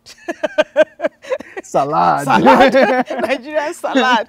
That's, you know, parsley can make such a nice difference in taste to my Nigerian salad. People are beginning to understand the the reason why parsley is added to Yeah, a dish. a dish, You yes. know, you finish with Mhm, something looks you- nice to the not- eye, It's, it's it's nice to aesthetic, tongue, flavor wise. flavor-wise, it's good. you know, um, you know everything Mm. about it, and beyond even parsley, thyme and Yes. oregano. and- Exactly. We're getting them fresh now. Exactly. I mean, growing up, my mom always had that container of thyme. Mhm. I But we always use and- dry And thyme. I, I thought, you know, for the for the for most of my life, I thought thyme was had to be dry. Yeah, absolutely. You know, True. it's more recently that we've seen fresh thyme, Uh-huh. fresh rosemary, fresh oregano. Most of these things were dry imported. Yes. Now we can use the fresh ones in our Yeah. cooking. what you just said is literally an, an anthropological perspective on our food. Yeah. Why did we use dried ingredients? Because They were it- imported. Nobody was growing it locally. and if we were, like, we didn't have ways to preserve them but dry them. You know, so like it, it, it- it's beautiful, and you spoke about evolution, Yeah. and you know, Massimo also said like any culture that doesn't evolve. Evolve. should go to a museum. you know, and now we realize that we're in a society Mm. that we can now use more than dried parsley. Yeah. Now we can use fresh parsley. We can use fresh thyme. Mhm. Things that are often not a reality of our cooking Mhm, process. mhm. I- I- Fresh thyme in jollof rice takes a very very different Yes, like flavor, flavor dimension. Yes, from from yeah from yeah from the dry thyme Yes. that are commonly used. And it's great because then we're able to experience things that are traditional in a very different, you know, perspective. We're in a revolution Yeah. of food right now. The louder Mhm. we are in that revolution, you know, the more the the the the, the realities of our food system, Mhm. the more people speak about it, Yeah. the more access that the rest of the the the, the majority Mhm. have to the realities of our You, you know, because we, I, I, we have to be our voice. Absolutely. We have to Absolutely. like like they say in Nigeria, loud it. yeah, allowed it. loud it. Mommy, you're more hip than me. Or they say sorosoke, Sorosoke. sorosoke. you know, which is loud it. So we, we, we have to be the voice. Um, and thanks to social media, Yeah. we have the opportunity to loud it. Yes. If we don't loud it, nobody's going to loud it for us. Truth. That, that's that's Truth. that's it. We have to be the ones Mm, that yes, tell our story. yes, yes. And that's why I'm in Nigeria, not anywhere yeah, else. Yeah. You know what is beautiful about our reality now in Nigeria Mm. is the ability for us to have the impact that we're having Yeah. in it. Yeah. I mean, the work that you do, and you're you're you're such a creative. I'm not trying to kiss your ass. I'm sorry. I can't. I'm not, but like the images you take, the way you express, you yeah. know, I just, you know. it's remarkable. Um, ginger. Okay. okay. So this is the pineapple ginger. We're going to harvest this tomorrow. Yes. Oh, yeah. I They're can see. ready. Mhm, mhm. Look at that. Mhm, like they're mhm. budding out. Mhm, mhm. Mhm. And it smells so good right Mhm. out the soil. And the leaves. Mm, yeah, the leaves, like yes. Tea. We, Yeah. I use it for tea all the time. Oh, that's that's good. It's it's um Look it's like a cross between lemongrass and ginger. exactly. Hmm. It's lovely. Like, Hmm. oh, oh, you have to take Mm, off your mask mm. for this, Hmm. That's lovely. right? Very earthy. Very earthy. I think the reality of any society, the people who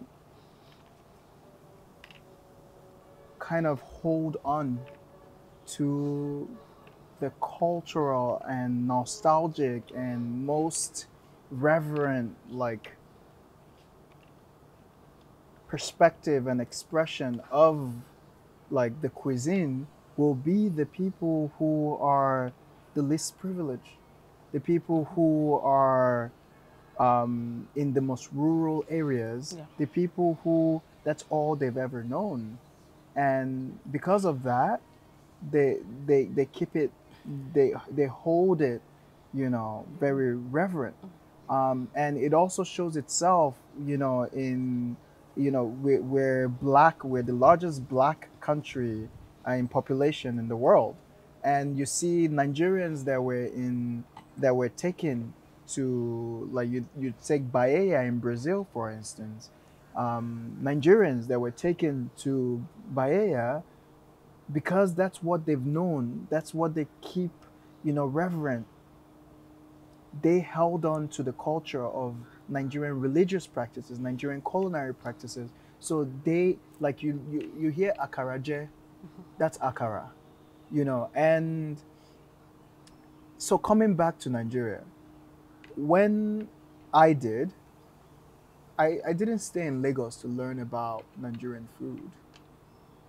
I went to the most rural regions around the country to experience um, what it meant to really express Nigerian food. The fermentation processes, Mm. the drying processes, the the cooking processes, um, all of those Smoking. things, the smoking, all of those things are are they're most vivid in the rural areas amongst the people of the lower threshold uh, of, of the society and that's unfortunately the reality like you know when i was traveling through the south south and the southeast you know i got to understand how the civil war Yeah. changed the way people Oh ate yeah. Oh yeah. you know, because Mhm. people were migrating through forests Mhm. and people didn't, you know, because you couldn't always have fire.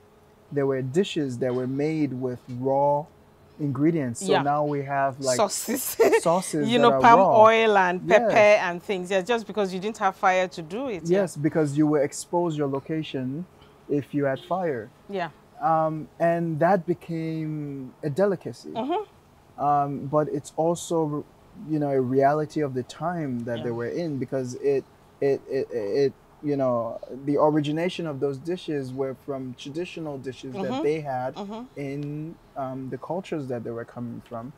Um, so going back to the reality that we are in a, first of all, we're in a global society.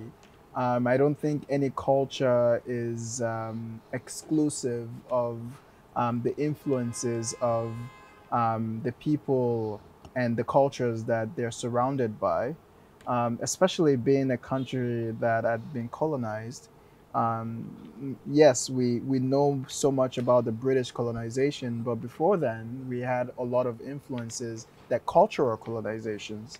Um, and I, I don't think necessary like uh, learning new things and incorporating it into um, your reality is terrible. But obviously, the British didn't have good food, so we didn't need to.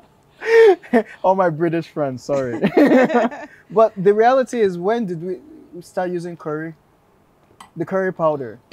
I think 60s or something. Yes, and the reasons why we, the same reason why the Indians use curry is the same reason why we use Mhm. it because it it was an amalgamation of spices that the British Yeah. um, had uh, collected through their journeys and Mhm. colonizing the world, um, and that is it's important to know that Yeah.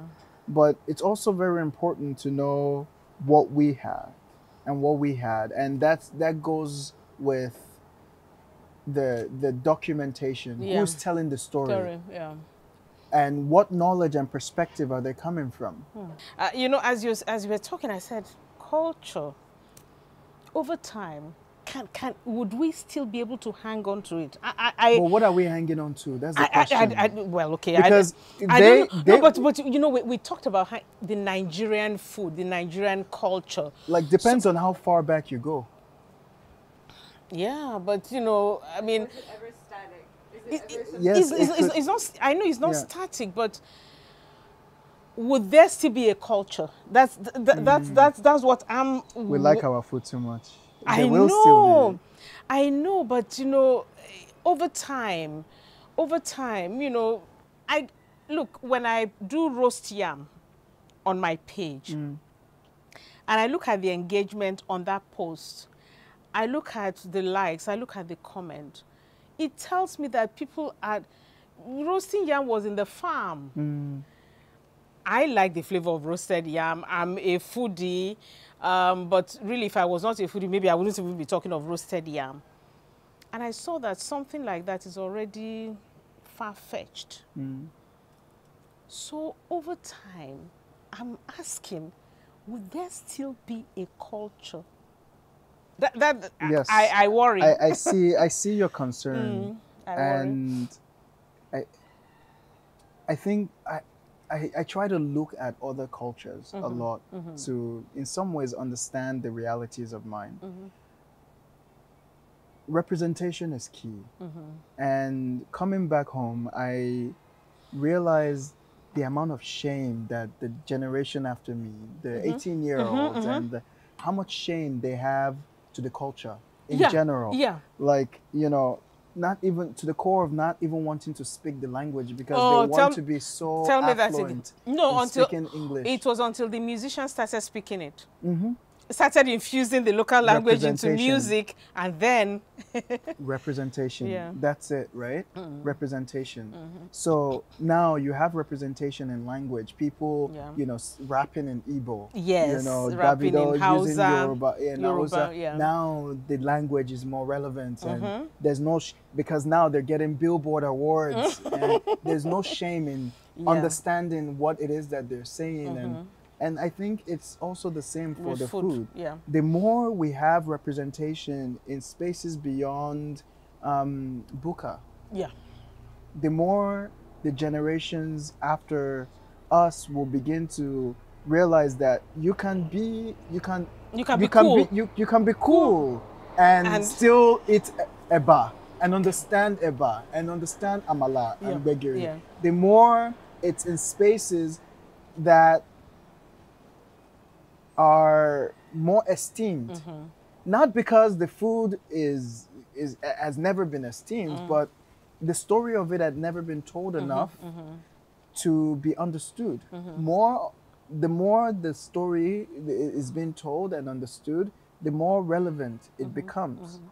What is happening now? We have so much more biodiversity, and we would be doing a disservice to both ourselves and the next generations if we don't use the ingredients that we have now to create, create, yeah, more. more, yeah. I mean, bec- because you know, sometimes I, I, I ask myself, how how did my great grandparents come up with the fact that you can go to the forest, pluck agbalumo, mm-hmm. African star apple. Who told them you, it was edible? And I ask myself, what am I going to leave behind? Mm-hmm. They've left agbalumo for me. They've left amala for me. Mhm. They've left edikang ikong. They've left ekpankoko for me. What am I leaving behind? And it's it's something that bothers me a bit because I mean, I'm creating based on what they found out. But can I create something and leave behind for the next generation?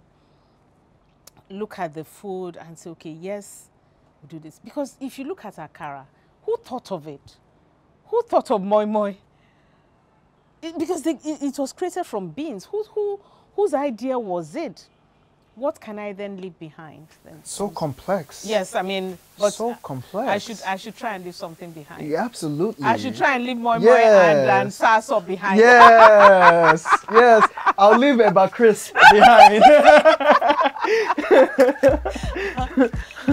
So this is a studio visit with Sejiro um, Avoseh. But before that, I want to say that so we've been our company running up productions. We're making a documentary, a docu series. So we've been in Lagos, um, recording stuff for that. We came uh, December was when we started the first round of production here, and it was crazy.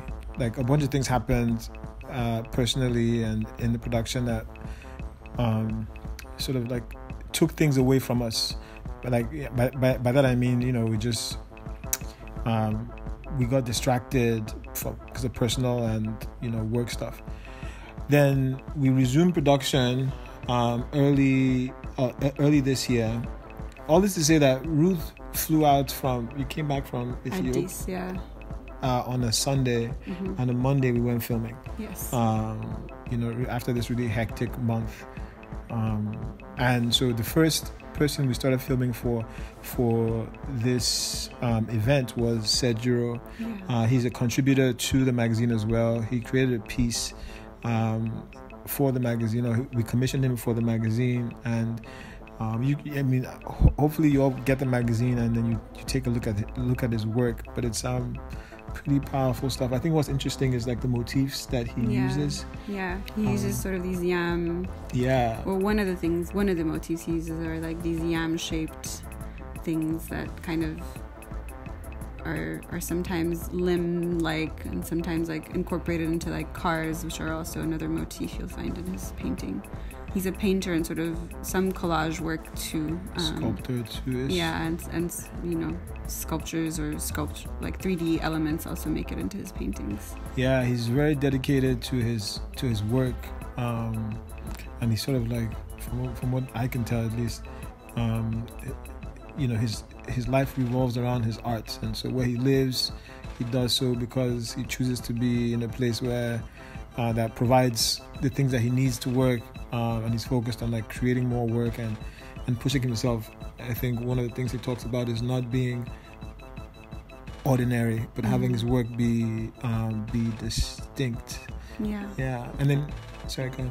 He just he just had a show open also in France. Yeah. I'm not sure if it's in Paris. It's at Afikaris uh, Gallery. So if anyone from there is uh, watching this, they can go experience his work live, which is like a consuming kind of painting where there's a lot happening and you can sort of spend a lot of time in one corner of his work.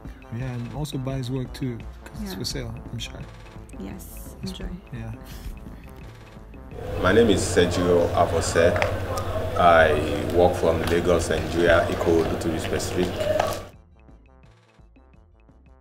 What I do with my work is I document my life experiences. I use a nomadic approach to execute my concept. So I see myself as a traveler in life. I use my work to document my time, my experiences. This is a piece. Yeah, it's so big. Yeah. You want to talk about it? Yeah, sure. When I was um, introduced to to this um, project, to I was asked to celebrate uh, to present a concept that celebrate newspaper as a wrapper and um, a container, and I was asked to present the concept on the front page of a Nigerian newspaper. So the first thing I did was to uh, look for a way to interpret the concept that it will also fit into my narrative. While interpreting the concept, it should also go with my um, my narrative, which shows me as a traveler in life. So I use a literary expression, which is metaphor, to present the newspaper, which is um, used here to represent a ship, and um, the food to that is being contained to represent. Uh, I use it to represent the, the, the slaves that were being um, confined from their places of origin to various destinations. So the newspaper, which is the ship, is used to contain the slaves and also to move them from their places of origin. And they were being used in the farm, which is presented here for uh, manual labor. And um, after the introduction of uh, machineries, they were being um, discarded. And that is how uh, newspaper is being discarded after uh, the food has been eaten, just like how the slaves have been, after they've been used, after they've been used and um, they end up being um, discarded. So that is how I was able to interpret my concept. And presenting it on the front page of a Nigerian newspaper, there's a newspaper in Nigeria called Daily Sun, but I don't want to uh, directly use the, the, the name of the newspaper, so I had to turn the daily upside down and present it um, artistically in this um, manner. So, and I've been able to use some um, uh, uh, font, some typographies, like you see slavery here. You have to take um, yourself into the painting to see some other um, some other details like the slavery, the food that he has to do with the team. So that is how I've been able to interpret my concept. You see uh, these faces that are automobile related faces. That is um, my prominent um, uh, visual concept. All my paintings has these faces, which talks, which um, which shows me as a traveler. I see myself like I'm moving, and what I'm doing is I'm documenting things I experience. I'm documenting people that I meet.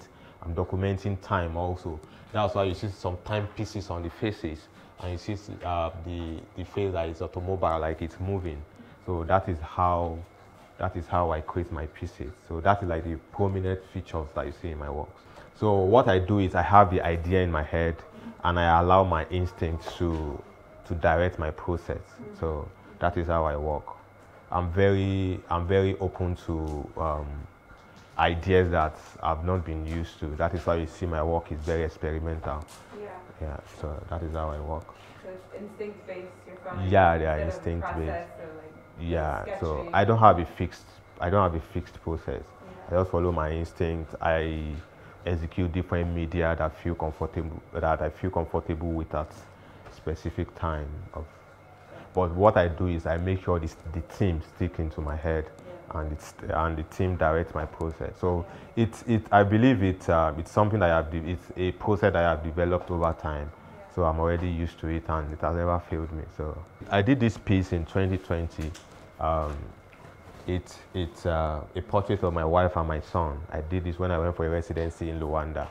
So I was in the residency and I was trying to imagine my my wife and my son how how what they were doing at home, how they were experiencing, how they have been, how they are living life without me. So this is my son, he's a boy, and um, this is my wife, and there is a tree at the back at the back here. So I was trying to imagine the environment. So that is is a portrait of my wife and my son. So that is what I've been able to do there. Are you fine? Please.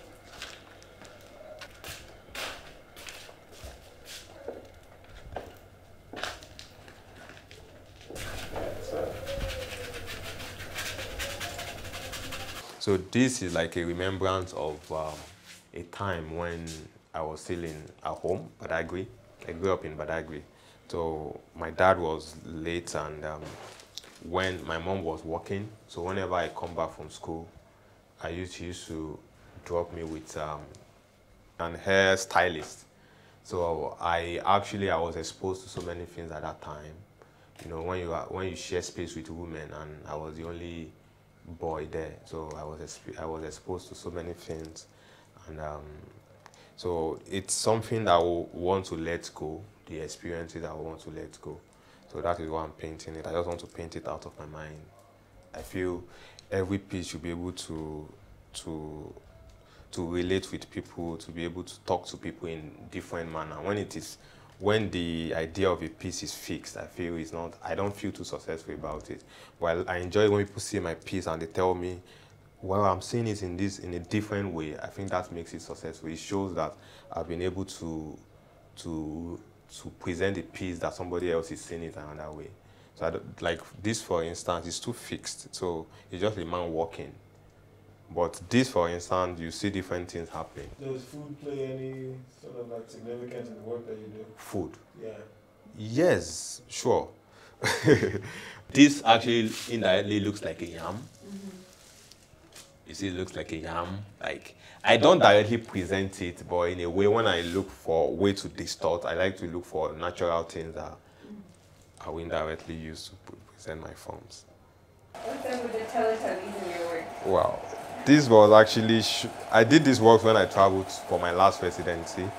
And um, I, you know, I'm becoming aware of uh, activities happening in my society, uh, political activities. And um, I noticed that uh, most of the people that are like um, the innocent people, people like me, that are not involved in government. So I use Teletubbies as symbols of innocence. So I call this piece abuse of innocence So if you look at this piece, for instance, I have male sexual organs. Like, I didn't directly present it, but they are like the scrotums coming into the, um, um, I will call it vagina of the Teletubbies, which is wrong. You shouldn't see Teletubbies in the same space with this. So I'm trying to describe it with how our leaders, how they abuse innocent citizens. So that is the idea of this. And the, the burning, the shapeless uh, part of the canvas is just like, I'm trying to describe it on how this country is. This country is going shapeless. It doesn't have the shape anymore. Like, that is how I see it. Like, and the burning, the tearing and the burning, like, after things have been destroyed, there is no way that they can be meshed and still look the way it's supposed to look. So that is the idea behind this series. It's a new series. It's not well accepted. It's not well accepted, but it is my mind. I could say what I want to say on canvas, whether it's accepted or not. It doesn't doesn't get into me. It doesn't bother me. Hmm. Yeah. You have to take a deep look for you to see that there is somebody behind. And this is the penis of the of the beast. Hmm.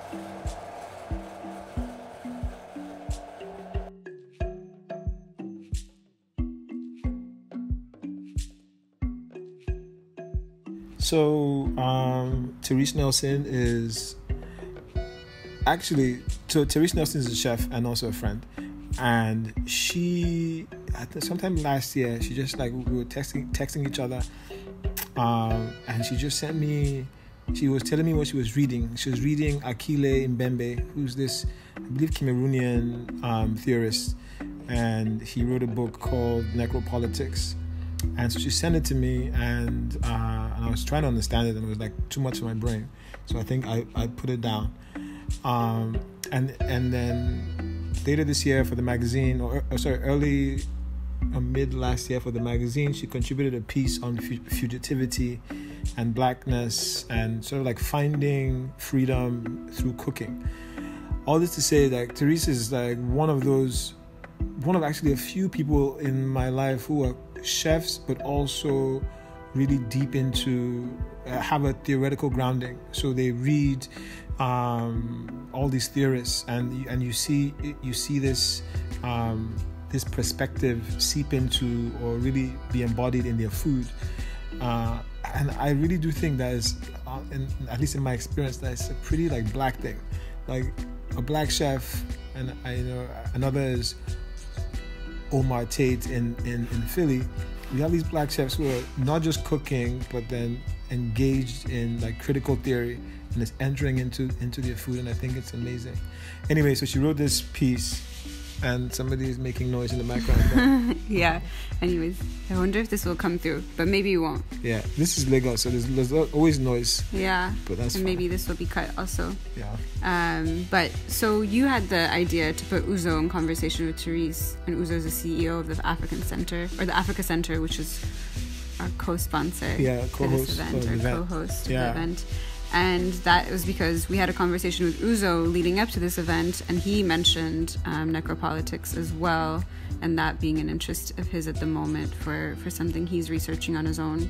So it felt like a natural Yeah, it fit. Hearing. So Uzo is a writer, um, as well as the CEO of the Africa Center, and um, it, you know, obviously to do this event, he it was his support that makes that is making this partnership possible. We had reached out to him early last early last year about this, and he was down. So anyway, we wanted to incorporate him and his ideas into uh, the programming. Of course, um, we were interested to hear what he w- was thinking about the issues that we broached in the magazine, and so um, it made sense. You want to talk a little bit about vulnerability politics? Is just, just, ju- I mean, just like a definition. Oh, I think I um, I think mm, mm, I don't know. Well, I can talk a little bit about precarity. Yeah, and sort of like the yeah. the different ways that precarity has been defined by theorists and writers. Um, folks like Saidiya Hartman come to mind when when you speak about precarity or the idea of necropolitics. Though I have yet to read that book, so I think about um, vulnerability or precarity as sort of your proximity to life chances and, and another word death right? So how this pandemic has made um, those precarities very clear and the investment of institution power the state um, and whose whose life they're investing in and whose life they're they're willing to to yeah to watch die. So um, though it's a dark way to end this Yeah. program it's also something that is unavoidable and- Yeah. and is dictating people's I mean, I think it's, lives. it's appropriate that the terminal program is about terminal things. maybe so Yeah. so yeah i um, these are great people to to have discussed this topic and uh, i'm sure they'll do so with a lot of care Yeah. so much of what was so beautiful about um, Tunde taking over this this um, issue of sandwich and just kind of um, putting diaspora front facing was that you got to hear from folks who are kind of stepping into the authority of culture, right, and doing it in a way that um, requires for the reader, right, like the the hundred dollar price tag, right, requires something from you just on purchasing the the sort of work, but then also um, being confronted with things that you might not have considered in the way that they're being presented. Um, but are you brave enough to tell those stories authentically and fully and full throatedly? Right. Um, is kind of the question. And I hope that like the the, the thing that MoFAD the exhibit to my mind was about was sort of providing a framework for folks to have the facility to, to, to tell those kinds of stories, right? To have, you know, the power of like the digital platforms that have sort of sprung up in terms of programming around that the exhibit has been the archive of these stories, right? The you see uh, you in the museum space, right? The sort of um, intangible, like this program exists, and if you don't live proximate to the space, you can't go, and you you saw these amazing things happening, these conversations happening you can't have access to.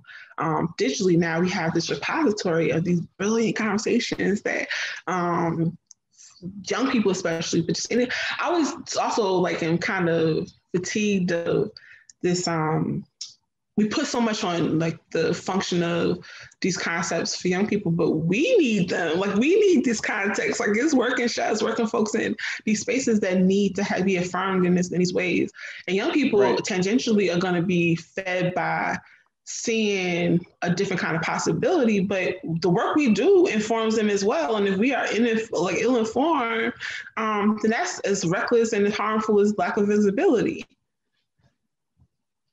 Right, right. No, I think you're yeah, and I actually wanted though in your in your work. I mean, you talked a little bit about subliminal messages, right? And I'm interested also in how you developed your way of countering those messages. Like, what was that journey? What was that path? Um, I mean, for me, it was 2008, 2009 becomes so important. I was sort of at the first like wave of career. I think a lot of chefs are watching this. Like, um, you sort of finish culinary school, you finish your training, and sort of get those first couple jobs out of school. And I always thought catering was going to be a space I was going to be most autonomous and like it because again, subliminally, like you talked that like the fine dining space, the rarefied air is the only place that's valuable, and culturally I couldn't show up in those spaces fully from like sort of with my whole self. And so that was always a, ne- a never for me. Like it was sort of a not a not possible. Um, but the examples I was finding of mentorship and sort of visibility in the catering space and sort of the um, the entrepreneurial examples were always sort of right front facing in those spaces. But the economy downturns and this business that I had started and was sort of giving myself over to um, is looking shaky. And I realized at that point that um, I just didn't know enough. Like I was, you know, about to give the next decade, next, you know, phase of my career over to a thing that felt not just preca- precarious, but also um, it felt like I wasn't really showing up fully informed right? Like, why didn't I know more Black chefs? Why wasn't I in community with more Black chefs? Why was like, why didn't I know enough about our food culture? Why was I subscribing to this sort of monolithic soul food narrative? Um, because my my understanding of the diaspora and sort of food ways was not what it should have been. Um, so I needed a starting place. And so I started this website really as a place to be a home or a house for what I was learning and what I was sort of discovering, um, reading everything and kind of searching for somebody with some answers. Um, and it's like, that's the thing, right? Like, it's so strange when you sort of shift perspective slightly, right? Like it was, I grew, I grew up in New Jersey, like right proximate to New York, right? I, I came back to New York City at a time when Pierre is working and fully, fully thriving in Brooklyn, right? There's a whole culinary landscape in Brooklyn, in Harlem, um, where Black chefs, Black bodies are doing amazing work, but because my lens, because my focus was so skewed, um, I wasn't in community with those people and spaces and um, themes. And so the moment I shifted perspective, um, building community became so so so much easier.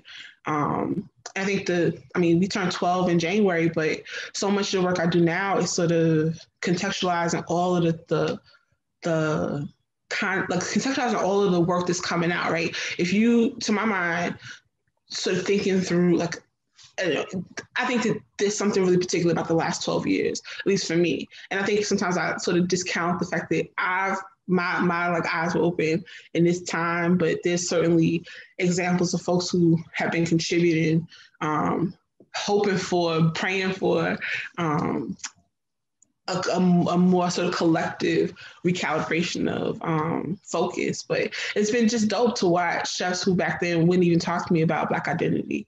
Um, open full restaurants in the like in the space and you know sort of writing right. more expansively the writing has been so ridiculous over the last decade like there's right, been right. so many people who are finding the kind of language I only add this that um, it was only 2015. Um, Toni Tipton Martin convened this event called Soul Summit in Austin, Texas, on the 150th anniversary of emancipation, and it was the smartest, best voices you could think of in food, black the black voices you could think of in food, writers, historians, chefs, etc.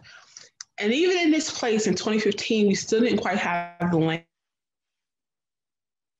language for um, our foodways, right? Like we, this was just before she um, published the Jemima Code. It was we certainly had High on the Hog um, by Jessica Harris, and we had I feel like Michael Twitty's book had come out maybe before that as well. So we had so we had a language started, but we still, in that moment, we just come to a place where we kind of could contextualize how we wanted to frame Black culture in this country. Um, so I guess I'm, I'm saying that I fail this to say that um, I'm constantly humbled by and encouraged by the fact that we are slowly but surely kind of um, seeing the, the necessity and um, naming things, right? Creating a emotional and verbal vocabulary around our foodways because it's slow and steady work, but it's also work that if we do right, if we sort of are in community with when we're doing it, um, it's gonna have like long term implications, right? It's gonna be this is forever work for a lot of us, and so right, right. Um, being like being sort of right and like like lamenting time passing shouldn't be um, shouldn't be a negative, right? Like it's to my mind, those slow and steady um, wins mean that they are going to have roots, right? Like they have um, roots that hopefully won't make our historical memory so short. Right, right, right. I mean, it's an amazing thing, and it is an amazing transformation, and I think it is one that is is you know like that is is so important, especially at this current moment. Um, you know again it's what what is it how do you revise history that writes you out of it right? And how do you and how do you also show people that like that that absence right is not indicative of an essential aspect of person. It's more indicative of the stories that are told right? And so you know again you know i don't know. I i read a lot like often read newspaper articles and you know they say never read the comments and i always read the comments because why not? And i think what's what's so clear to me whatever you're writing on but especially around issues of race but you know we we put race in its own category but just issues of america and americanness right? And then you know like or just issues of politics and foreign relations globally like is people act as if um two things one that like race is a subset that can be ignored and two, they act as if a certain set of people have not been fundamental actors in the shaping of the present day world from the beginning. And food is an essential part of that story. So, you know, I think one of the things that's that's that's crucial, right, is like food is foreign relations, right? The reason that there are there are there are black people in the United States of America. The reason why the continent of Africa is chopped up in the way that it is is because food is foreign relations. Groundnuts in Nigeria. I was just looking at a poster someone the groundnuts or peanuts in Nigeria there are posters from the British quote unquote the British war effort in the 1914s or 1940s around World War One and Two. Nigeria is one of the largest producers of peanuts in the world. Um, and that was a colonial enterprise. That so many bodies were devoted to doing that. So much of you know you can think of like that. That's a major supply for British soldiers, right? Then that's a contribution, an essential contribution to foreign policy. Let's go back a little bit, right, to talking about you know the the reason why people ship bodies across the the ocean and killed so many people in doing so. Rice planting, sugar planting, that's right, cotton planting. You know, we're, we're talking about food, but like you know, and so no. and then also not thinking about like the fact that the people who were were were planting these crops are the people who had the knowledge of these crops. So you have a whole system of economics that is founded on the knowledge mm-hmm. of the labor of these people. And the, the reason the world is the way it is today, the reason the United States was able to take a position of primacy is because, you know, you get, if you get 300 years of free labor, right? Like, you can just bank that cash, like you're to be able to do whatever you want. I don't care who you are. Somebody's going to come in here and do everything for me for free for, for, you know, like, I don't know, the first 30 years of my life. Yeah, I'm going to be in a very good position to start, you know, exerting my will on other people. And so I think it's about centering that historical time but then it's also about about you know when we start talking about black lives matter when we start talking about representation when we start talking about not seeing black chefs opening restaurants in the same way with the same ease that say a white chef can open a restaurant. All of this stuff is connected. You know i think that we we don't like we need to be more explicit about how this is connected. Like we need to be much yes. much more explicit about it and much much more concrete you know so that somebody can't walk into a restaurant and you know sit down with you know macaroni and cheese or sit down with a cheeseburger or sit down you know like with whatever dish they're they're eating and whatever sort of like sophistication or pseudo sophistication that they imagine themselves to possess and not see the historical context that allows them to be there. That I, I think is so important to to so many of us right? And i think is is a transformative piece. One million percent. I also think that there's something really powerful in um centering that work in community because I think this, what you're talking about, 100% mm-hmm. has implications in terms of how the public or folks outside the culture are going to inter- sort of engage um, with our culture, right? This sort of that's sort of that's the Eduardo Jordan factor of it all, right? Like the before he opened June Baby, he had a whole encyclopedia on his website that sort of asked people to to come to his table before a dish was even cooked um, in a way that was as respectful as any other culture that you would sort of engage with globally, right? But there's something so that's and it, to my mind it feels um, sometimes like again like it's like you know of attention span and sort of the necessity of this work to exist on multiple levels is key but i also think that there's something so empowering about starting from a place that you can actually control and starting from being in community right how are you as the practitioner of this craft, how are you messaging? What are you bringing to? What are you requiring of your guests? What are you? How are you um, sort of expressing the the how, how you frame your your aesthetic, right? Like it, it's just there's a there's sometimes this sense where without because we aren't explicit, because we aren't um, sort of talking through why representation matters, why we are sort of so like there's a defensive posture to it that gets a lot of the context lost in um, the frivolity of it, right? It gives it's easily dismissed when it is in context. And if you're talking about representation for representation's sake, well, I don't know. I mean, they just you, if you've been following this sort of fave chef situation, like that's that's representation for representation's sake. It doesn't sort of um, suggest that once you what are you going to say when you get there right like in the early days right. of um, doing this work a lot of a lot of folks were so beholden to this notion of being visible. But if you don't have anything to say once you're visible, um, then it sort of Why are you diminishes the exactly. So I just I love so much that there's so much rigor happening right now, so much thoughtfulness, so much um clarity. And I also think that there's something really important about um, talking to chefs on the continent in these places that are so black and so central, right? Where your culture is not. A lot of times, I think you talk about talk to American chefs, and so much of what you hear in the way that they talk about our food ways is you hear trauma in it, you hear defensiveness in it, and you hear kind of um, you hear a posture that um, is reacting to um, the precarious nature of being black in this country. And I think that there's certainly a, like a sort of conversation to be had, and, and certainly um, precariousness um, globally. But it just it feels different. It feels different to talk to chefs in the Caribbean who have black faces on the money and uh, you know what I mean, and sort of have are in a place where producer, the restaurateur, the, the staff, the culinary schools are filled with black lives.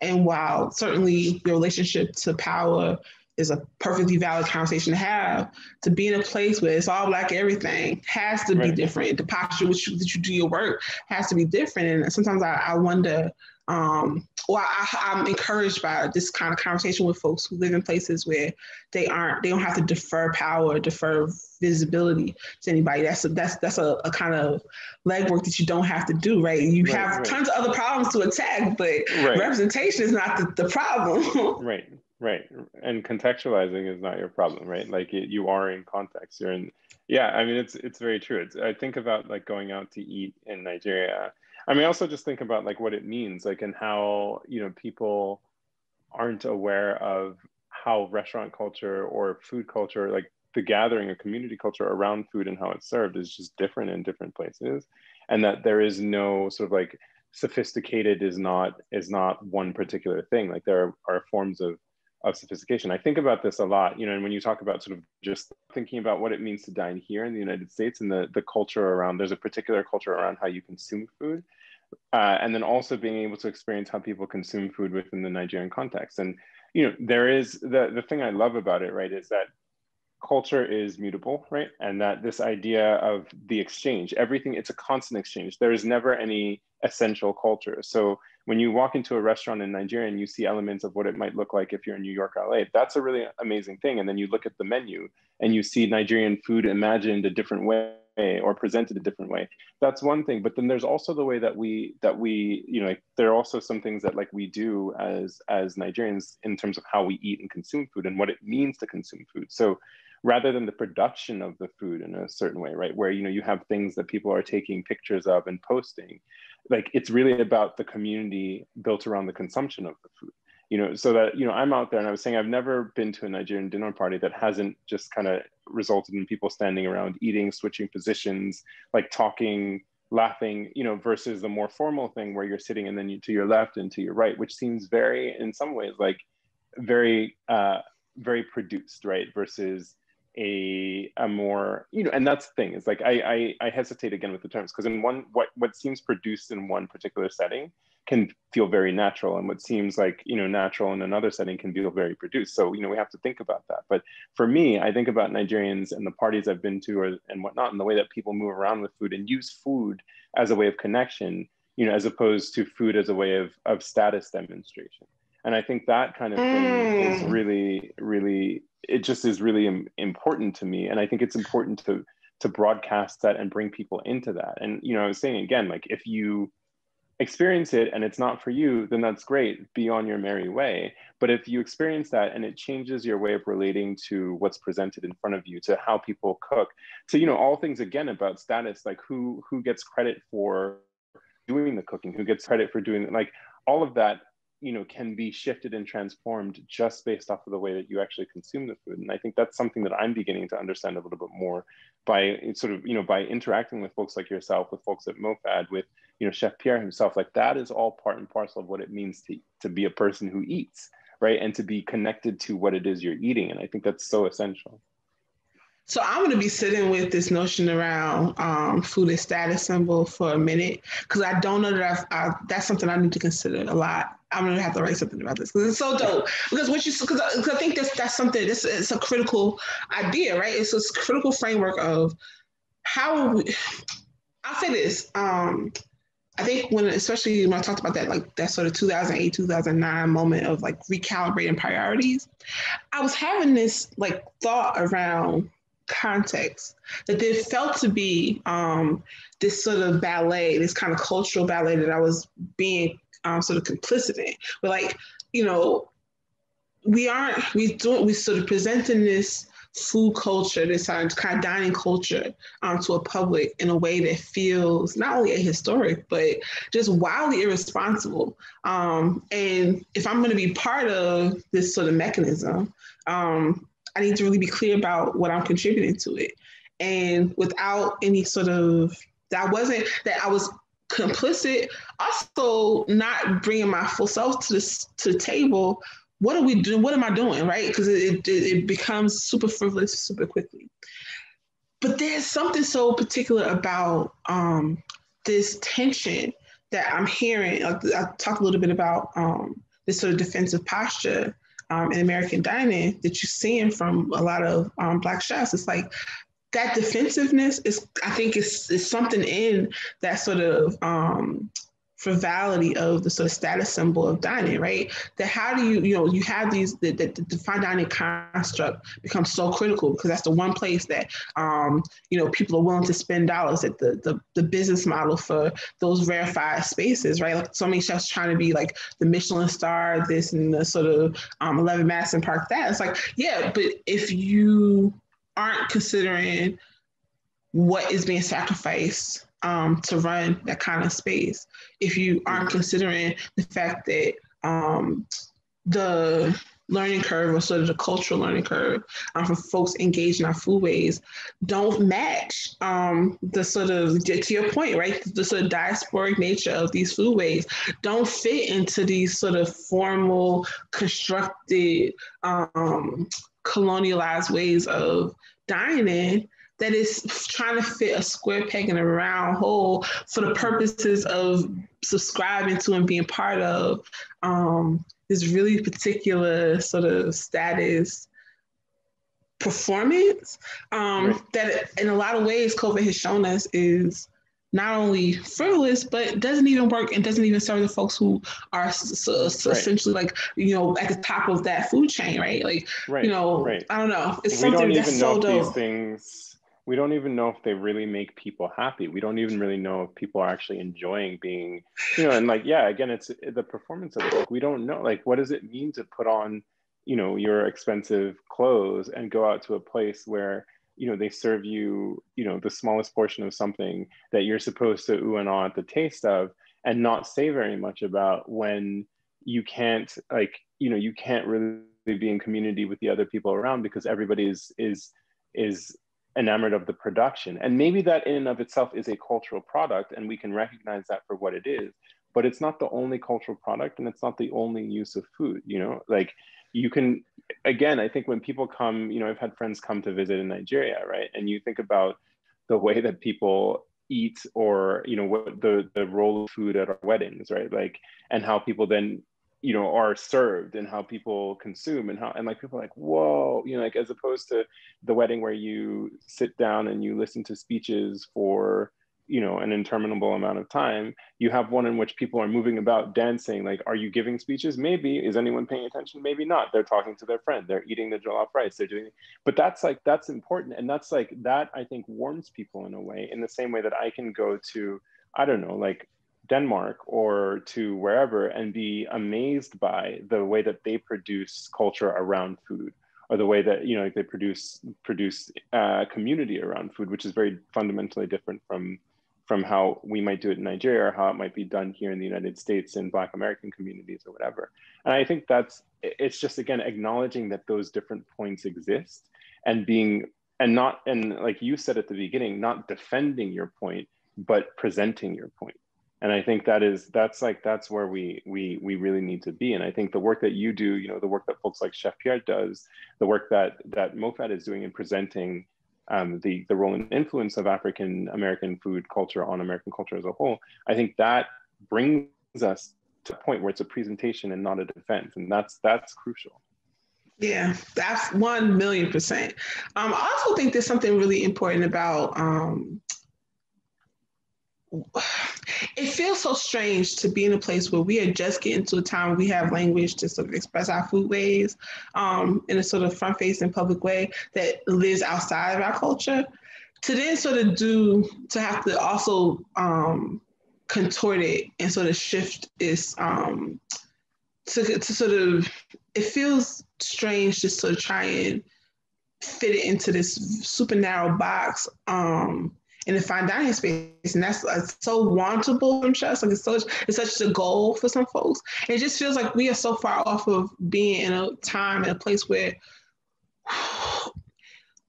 to be able to, to have that kind of space requires a kind of diligence and legwork and kind of um, sort of cultural foundation um, that makes the, that cuisine translate without having to do work that doesn't ex- that shouldn't exist in that kind of exchange, right? I think who's that young the, the um chef in Nigeria right now, a young guy. I remember when he was in the U.S. and he gone was going back to. He's in this episode on this issue of Sandwich.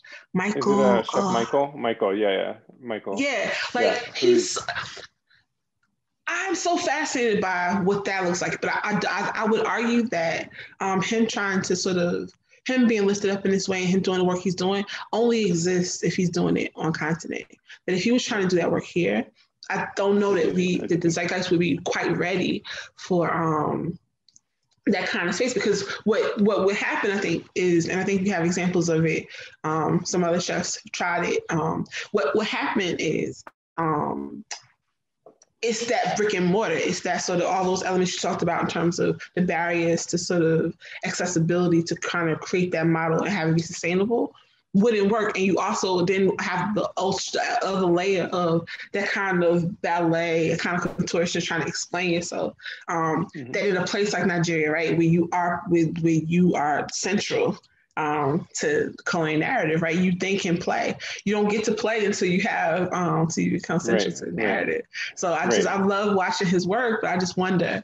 Um, I, I- think success relative to some, some young chefs that are coming up, like that's kind of who you should be looking at. But that also requires you to do the work of priming the, the zeitgeist, right, to be ready Right, for right, those kinds of stories. Right. I mean, it is. I guess that is the the black person's burden, right? Is like not only are we doing the thing, but we're also doing the thing beyond the thing, so that people can appreciate the thing, right? Which is which is a lot of work. It's it's a lot of work, but I mean, someone has to do it, I guess, and that is That's our right. that's our mandate, and that's our task. All right, so that was that was the Sandwich Magazine programming, or the Yeah. Africa the African Scramble programming. African Scramble issue on Sandwich Magazine, which is issue number four. This is the end. Thank you. Uh, this has been a long relationship with Sandwich Magazine. I think we started. Where were we? August or something. No. You're in San Francisco, no? We were in San Francisco. So we were in San Francisco writing. No, we were pitching our episodes, our docu series to like these. Um, what do you call these people? Platforms. To like platforms, like the big um, distributors.